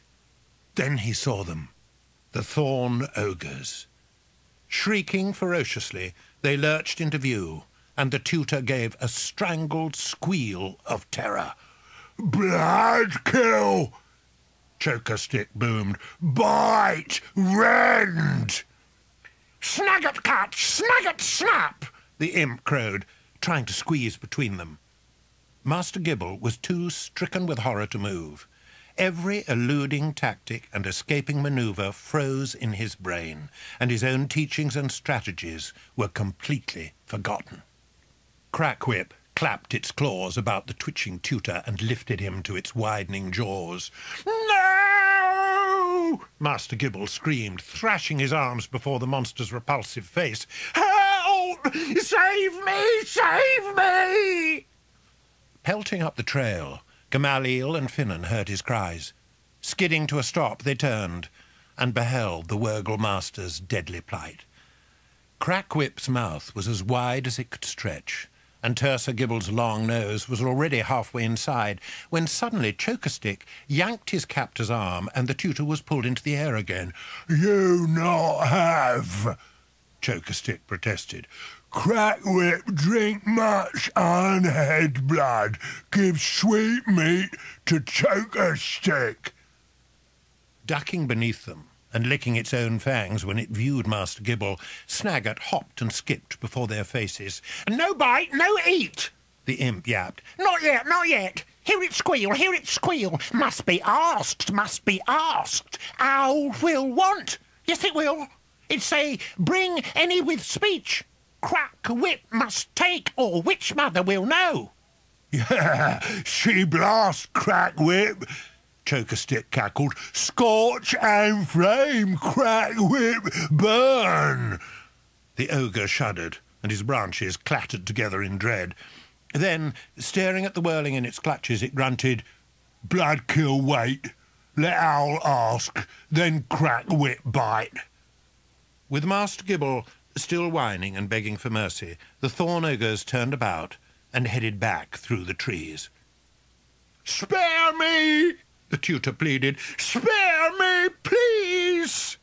Where are they taking him? Canella's brother asked. What were those horrible things? Finnan shook his head. I don't know, but I have to save him if I can. You go back and tell the others. I'll follow these horrors and wait for a chance. No, you don't, Finnan Lufkin. Gamaliel refused. You're going nowhere on your own. I'm coming with you. Finnan could tell that it was pointless trying to argue, and so, as quickly as they dared, the Werlings chased after the Thorn Ogres and pushed deeper into the forest. Snagget, Crackwhip, and Chokerstick could move swiftly on their misshapen legs. Through the hornbeams, tortured elms, and malformed sycamores they stamped and stumped, while the other thorn ogres they encountered fell in behind, laughing at the terrified notes sounding from the puny creature they had caught, until finally they came to where the smith had made his encampment. A terrible violence had been visited upon that small space. Trees were thrown down, their roots unearthed and exposed. The trunks were hacked and torn apart. Deep pits and trenches had been gouged in the soil, and more were being dug. Not a blade of grass was left standing or unbroken, and even the stones were cracked like eggs. To this desolation the thorn ogres came, barging, pouring over the splintered trees to gather around the brinks of the newly grubbed pits, eager to see what the messenger of the High Lady would make of the unusual creature in Crackwhip's claws. Destruction on such a scale was outside the experience or knowledge of any werling. Finnan's throat went dry when he thought about a calamity of equal force striking in the heart of their home beyond the Hagburn. Finnan saw that one of the uprooted trees was leaning directly over that hideous multitude. Murmuring his plan to Gamaliel, they sneaked across the shattered ground and climbed nimbly up the ravaged trunk, then peered down. In the centre of that malevolent crew, a large barn owl was perched upon a pile of twisted metal, the mangled remains of the wandering smith's wares.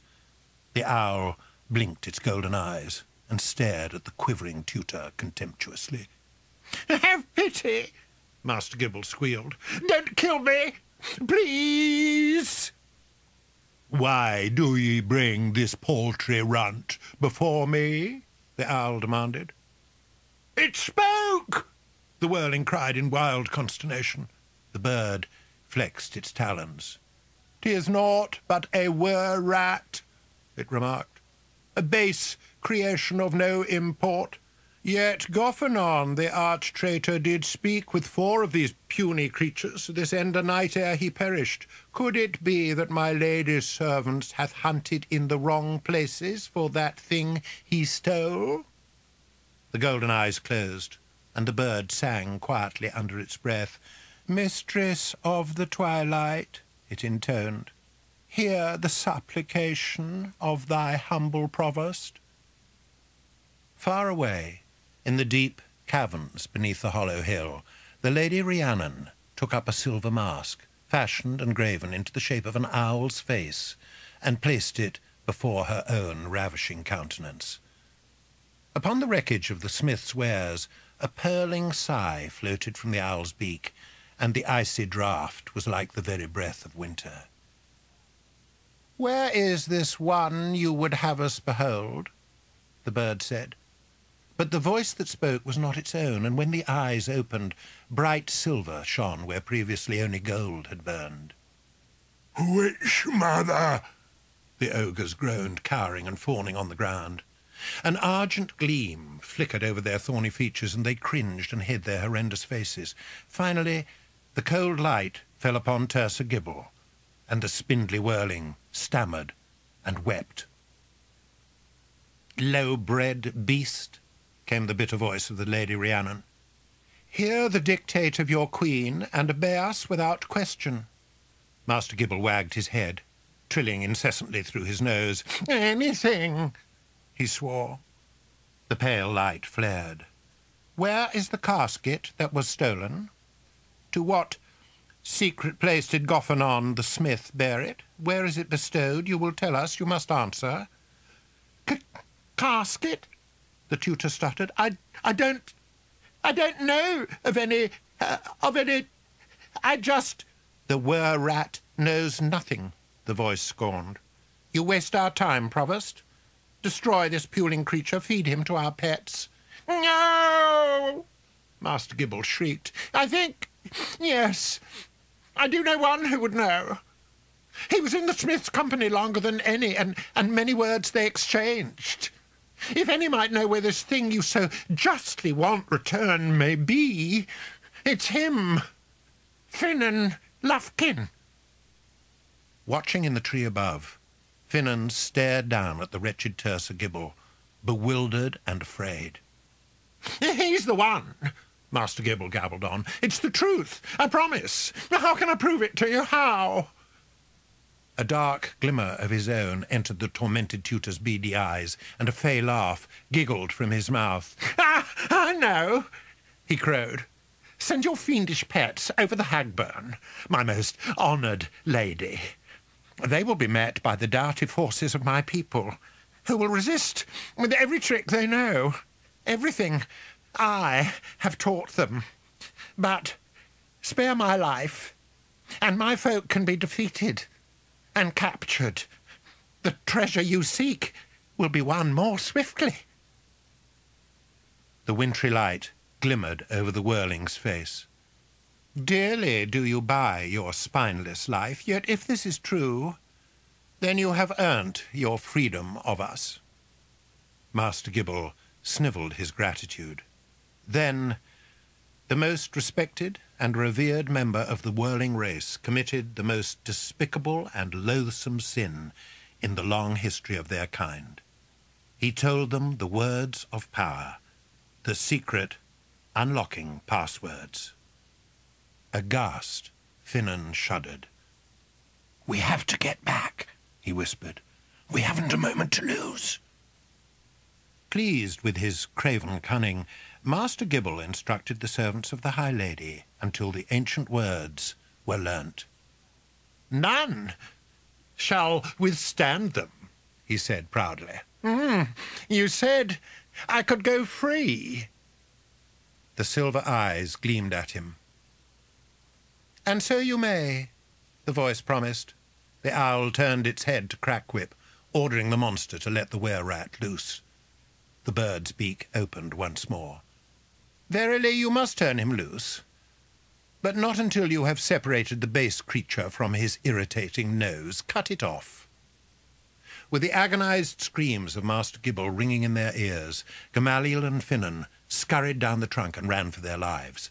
But as they sped, one of the thorn ogres chanced to turn, and it saw them flee. Spies! it croaked. See! Spies! Shrieking and screeching, the evil host charged forth. Hideous shouts blared beneath the trees, and the forest streaked past Gamaliel and Finnan as a tangled blur. Away from the mutilation of the Smith's encampment they pelted, running as fast as they could, but Gamaliel couldn't keep up with Finnan. They're gaining on us, Finnan exclaimed. We'll have to wurgle into something faster. Gamaliel's legs were aching. No, he cried back. I can't. I've never even changed into a mouse. You go on, Finnan. I should never have come. Leave me here. Go. Tell the others. No one's going to be left anywhere, Finnan replied. All I have to do is wurgle into a bird strong enough to carry you, and we'll both be safe. The ogres were almost upon them. Finnan leapt into the air, spreading his arms and flapping them. With a lurch, he fell there were no feathers, no wings. The wurgling had not taken place. Shocked and fearful, he bolted upright and tried again and again. Nothing happened. He turned to Gamaliel and in a scared voice declared, I can't do it. Without the wood from the silent grove, I can't wurgle into anything. Oh, what are we to do? Gamaliel wept. The thorn ogres were crashing through the trees behind them. Finnan looked around wildly. The hill, topped by a single chestnut tree, was not far away, and he gripped Gamaliel by the shoulders. Listen to me. It's up to you now. I can't wurgle, so you must. You have to. You're our only hope. But what about you? Finnan pointed to the hill. If I can reach that, I might be able to hide. But it doesn't matter. Only you do. Go, warn the others. Tell them what Gibble's done. Don't stop to worry about me. There isn't time. Tears pricked Gamaliel's eyes, and with the clamour of the enemy roaring behind him, Gamaliel Tumpin opened his wurgle pouch. Uncertainly, he reached into the velvety bag, and he drew out a matted clump of fur, bristles, and feathers. It's all mixed up, he howled. I don't even know which is the mouse. Just do it, Finnan told him. Gamaliel closed his eyes, thrust the untidy mess under his nose, and took one great, despairing sniff. Stars exploded in the werling's mind. His skin crackled and fizzed, and his body was racked by vicious spasms as mighty forces gripped him. He was wurgling. But not all the venom of Frighty Aggie's sting had been drawn from his shoulder, and they conferred strange powers upon young Gamaliel Tumpin.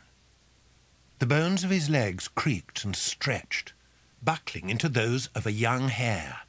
A sleek coat of ginger fur sprouted all over his face, and his hands became squirrel paws. From the top of his snookle hood burst a crown of feathers, and his jerkin ripped and tore when hedgehog spines came thrusting from his back. With a final jolt, a mouse's tail snaked out behind, and Gamaliel blinked in surprise. Finnan gawped at him. You're a bit of everything. It's incredible. Nobody can do that. Are you all right? Gamaliel nodded hastily and hopped upon his new legs. I think I can make it, he cried. I feel strong and swift. Then run, Finnan called, for at that moment the ogres came rushing to snatch them. Off Gamaliel shot, bounding and leaping over the dead bracken, travelling faster than he ever had dreamt. Into his ears the wind went coursing, and the feathers on the top of his head waved madly as he raced along. Finnan couldn't begin to match the speed of his friend's new mongrel shape, and he fell rapidly behind. But the ogres were still clutching at his heels, and when he reached the lower slopes of the nettle-covered hill, he darted aside and shot up into the weeds. Like an avalanche of briar and bramble, the monsters rumbled by, yammering at the top of their rasping voices, calling for death and murder. Not daring to pause, Finnan scaled the hill, and when he reached the summit, clambered quickly up into the chestnut tree. Breathless and spent, he perched upon one of the lower branches and stared down at the forest roof. Through the twining boughs he saw the surging horde flood through Hagwood, heading unerringly for the land of the Werlings. Above them the barn owl circled, and Finnan hoped that Gamaliel's new shape would not fail him. Good luck, he murmured. At the base of the tree, a small figure came crashing through the nettles and cackled to itself when it saw Finnan hiding in the branches. Snagget want, it crooned, and licking its fangs, the imp began to climb.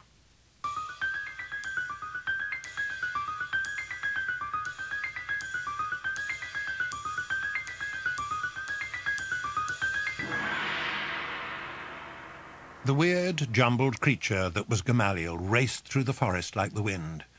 But swooping from the sky, the owl dived, and the secret passwords bawled from its beak. Gamaliel heard the rush of wings and waited for the protecting hedgehog spines to vanish. But to his delight, he remained unchanged. The ancient unlocking charm had been devised for only known forms, and over the hybrid creature he had wurgled into, they had no power. Above him the owl squawked in impotent fury, and Gamaliel sprang away, his leveret's feet barely touching the ground. Across the Hagburn he vaulted. Where? Where? he hollered. Wolves! Owls! Witches! Where? Where? Into the land of the Werlings he raced, and the old alarm cry brought dozens of faces crowding to the entrances of their homes. What is it? they called, gazing at the peculiar creature hurrying below, and observing with dread the barn owl that was dive-bombing and hounding it. Who's down there? It's me, the uncanny beast yelled. Gamaliel Tumpin! He sped to the oak where his family lived, and his father was already scuttling down to meet him.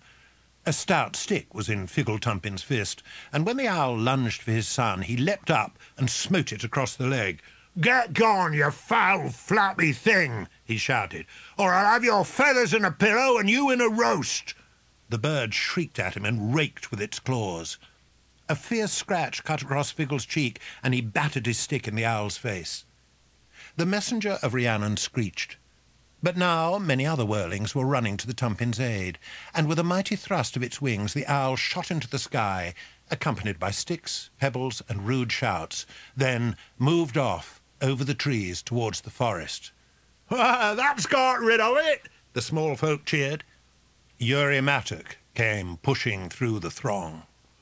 What in Hagwood are you supposed to be? he demanded sternly. You're a disgrace, lad, an abominable nation. Don't you speak to our Gamaliel like that? Figgle cried, shoving Mr. Mattock in the chest. And don't you push me, Uri told him. Stop it, Gamaliel yelled. There are enemies coming. Huge monsters. You have to arm yourselves. Find whatever weapons you can, or they'll kill you all. Monsters? Uri Mattock said. Yes. They caught Master Gibble, and he told them the passwords. Poor Finnan stuck back in the forest. He could be dead now, for all I know, or you care. Listen. The rumour of a tremendous uproar was rising from beyond the Hagburn.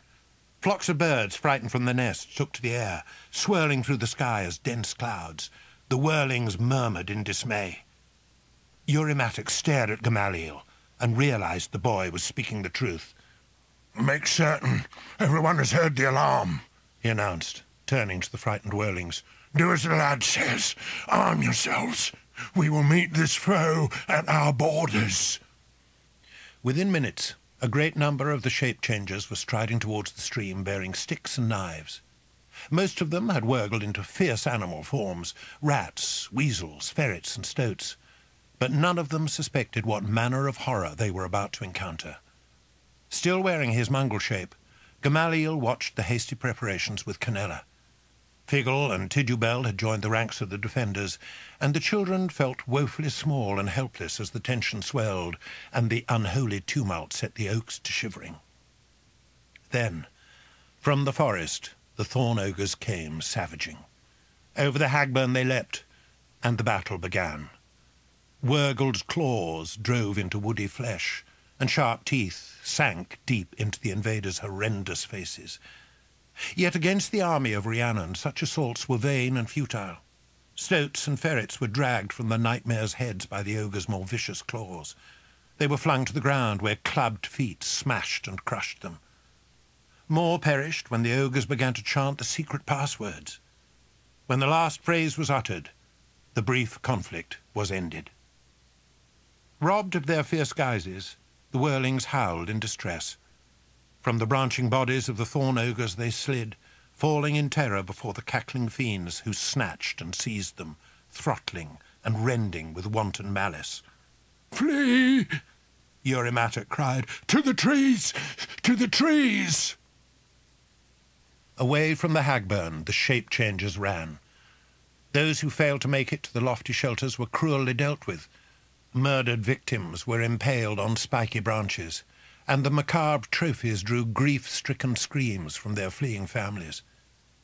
Into the nearest trees the werling scrambled. Pursued by Chokerstick, Figgle and Tidubel barely managed to gain their oak in time.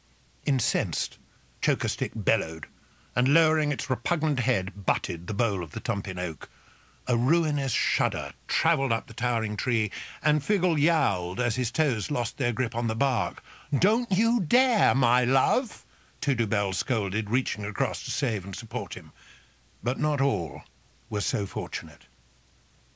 Other werlings fell, shrieking to their deaths, while those who had not reached the safety of the trees were slaughtered upon the ground.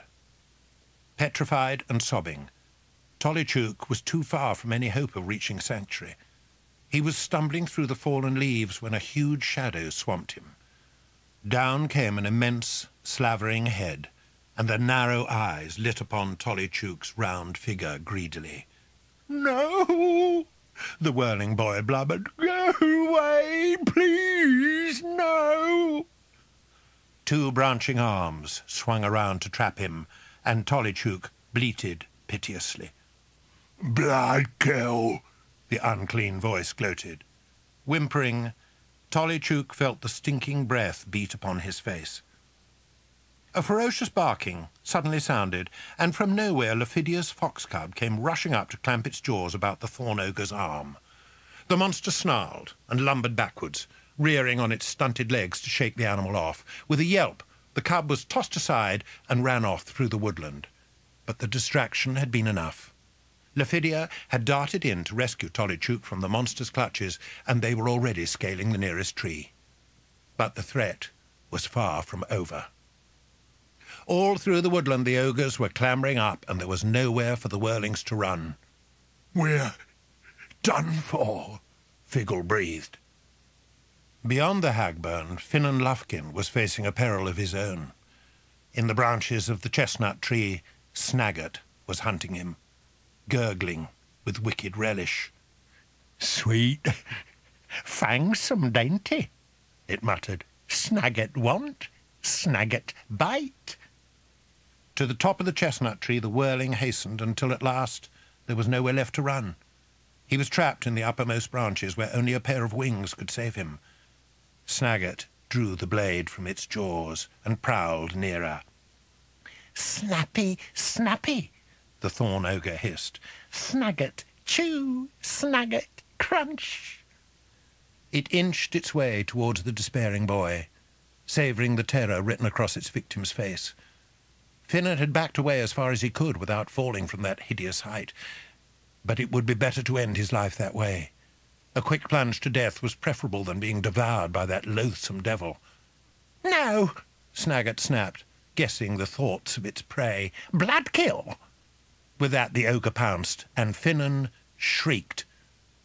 But Snagget squealed even louder, for as it leapt at the werling, a gigantic claw reached up from beneath, and the imp was yanked backwards.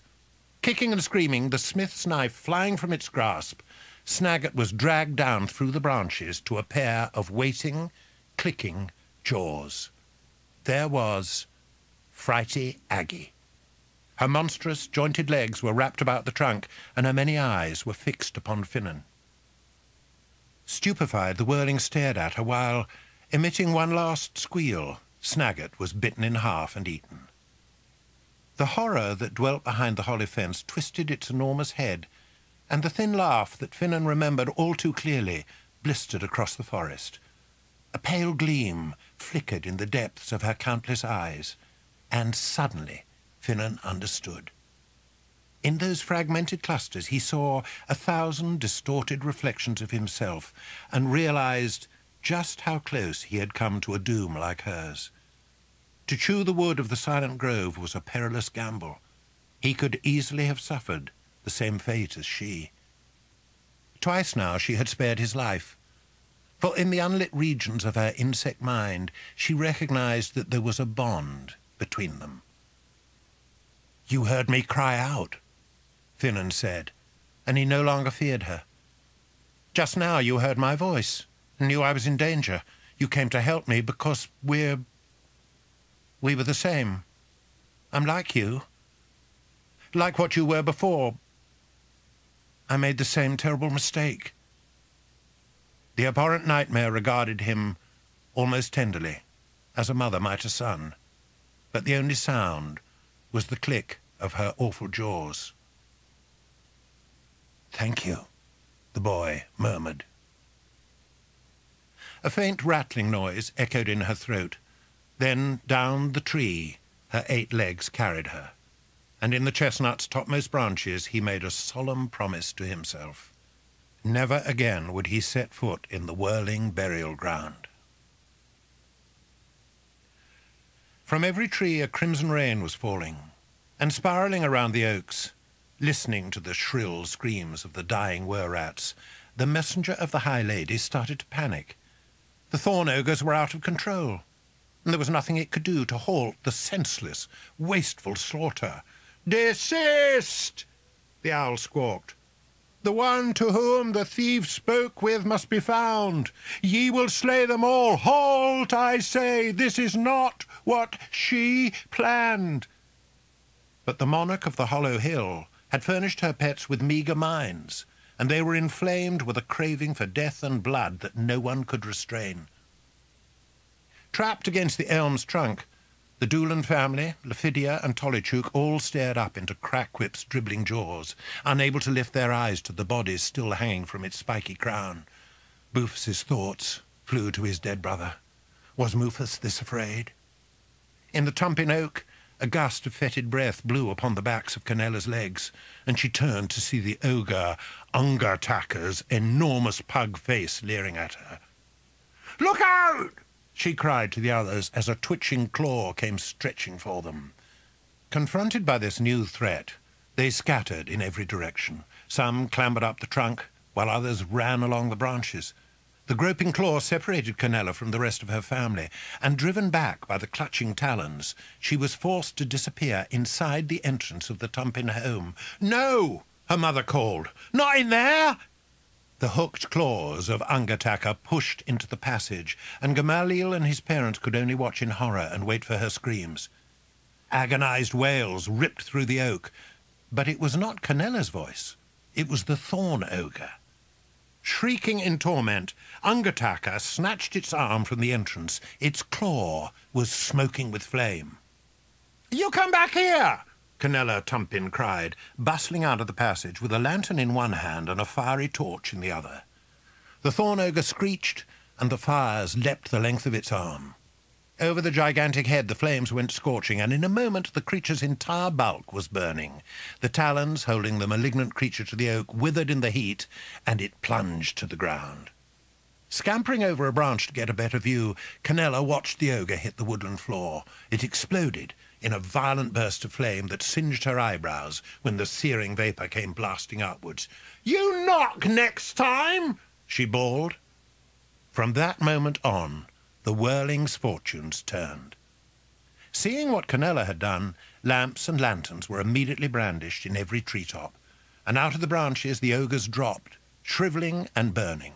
Demented with the terror of the flames, the thorn ogres bolted blindly, raving and shrieking. From the wych elm of the Doolans, Crackwhip leapt, wreathed in a halo of fire. So ferociously did it rage that by the time it struck the ground, the creature was dead, and its charred carcass crumbled to ashes and cinders. Columns of twisting black smoke wound about the trees as the yammering host took flight.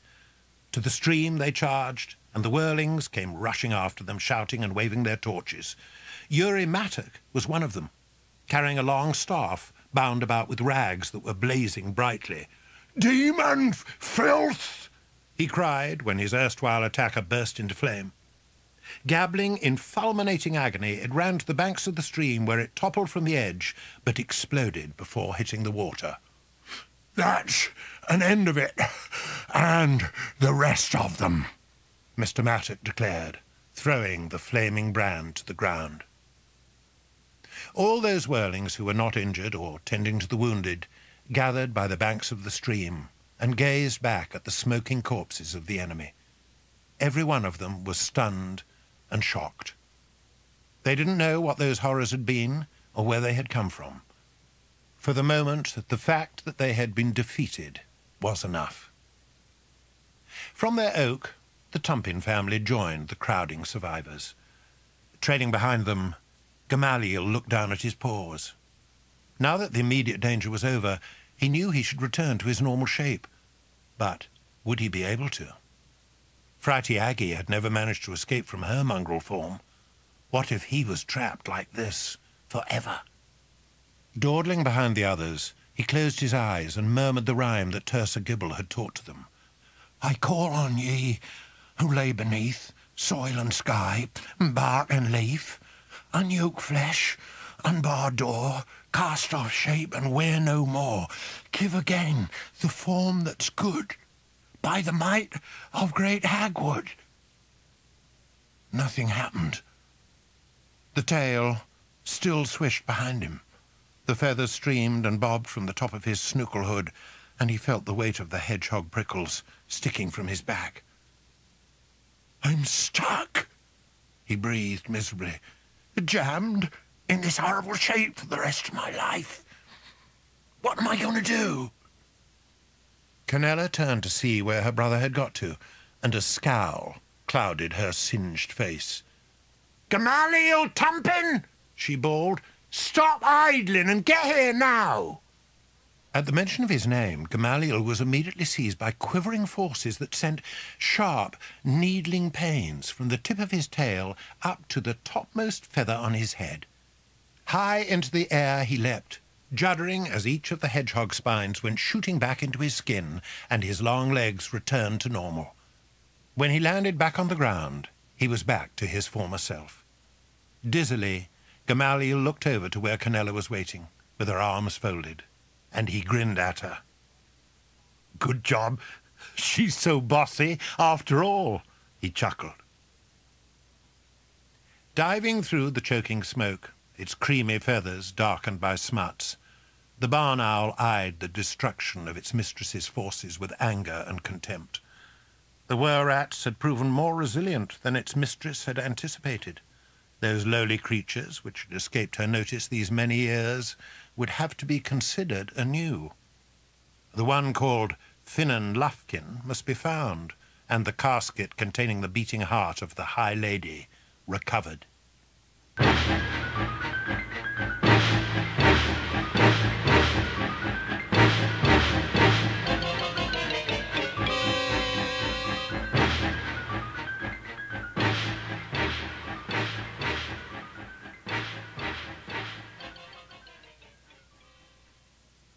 That night, in the silent grove, the bodies of those slain in the carnage were given to the beeches. Forty-nine werlings had lost their lives that day, and as the sumptuous light of the last beech blossom dwindled and went out, Finnan Lufkin hung his head. His banishment had been lifted by Uri Mattock, but his crime had not been forgiven. He was forbidden to enter the silent grove, and for that he was grateful. Sitting beyond the brink of that hallowed dingle, in exactly the same spot where he had sat with the wandering Smith only the night before, he watched as the mourning families began to depart. Lephidia's fox cub lay at his side, waiting impatiently for its beloved mistress to return, and Finnan stroked it gently. In the morning the council would meet, and this time they would listen to him. Their lives would never be the same again. Henceforth, the Werlings would have to arm themselves properly and learn how to fight. Wurgling was no longer any protection. The fox cub jolted and sat upright. Lephidia was leaving the grove with her mother, and the animal dashed across to greet her.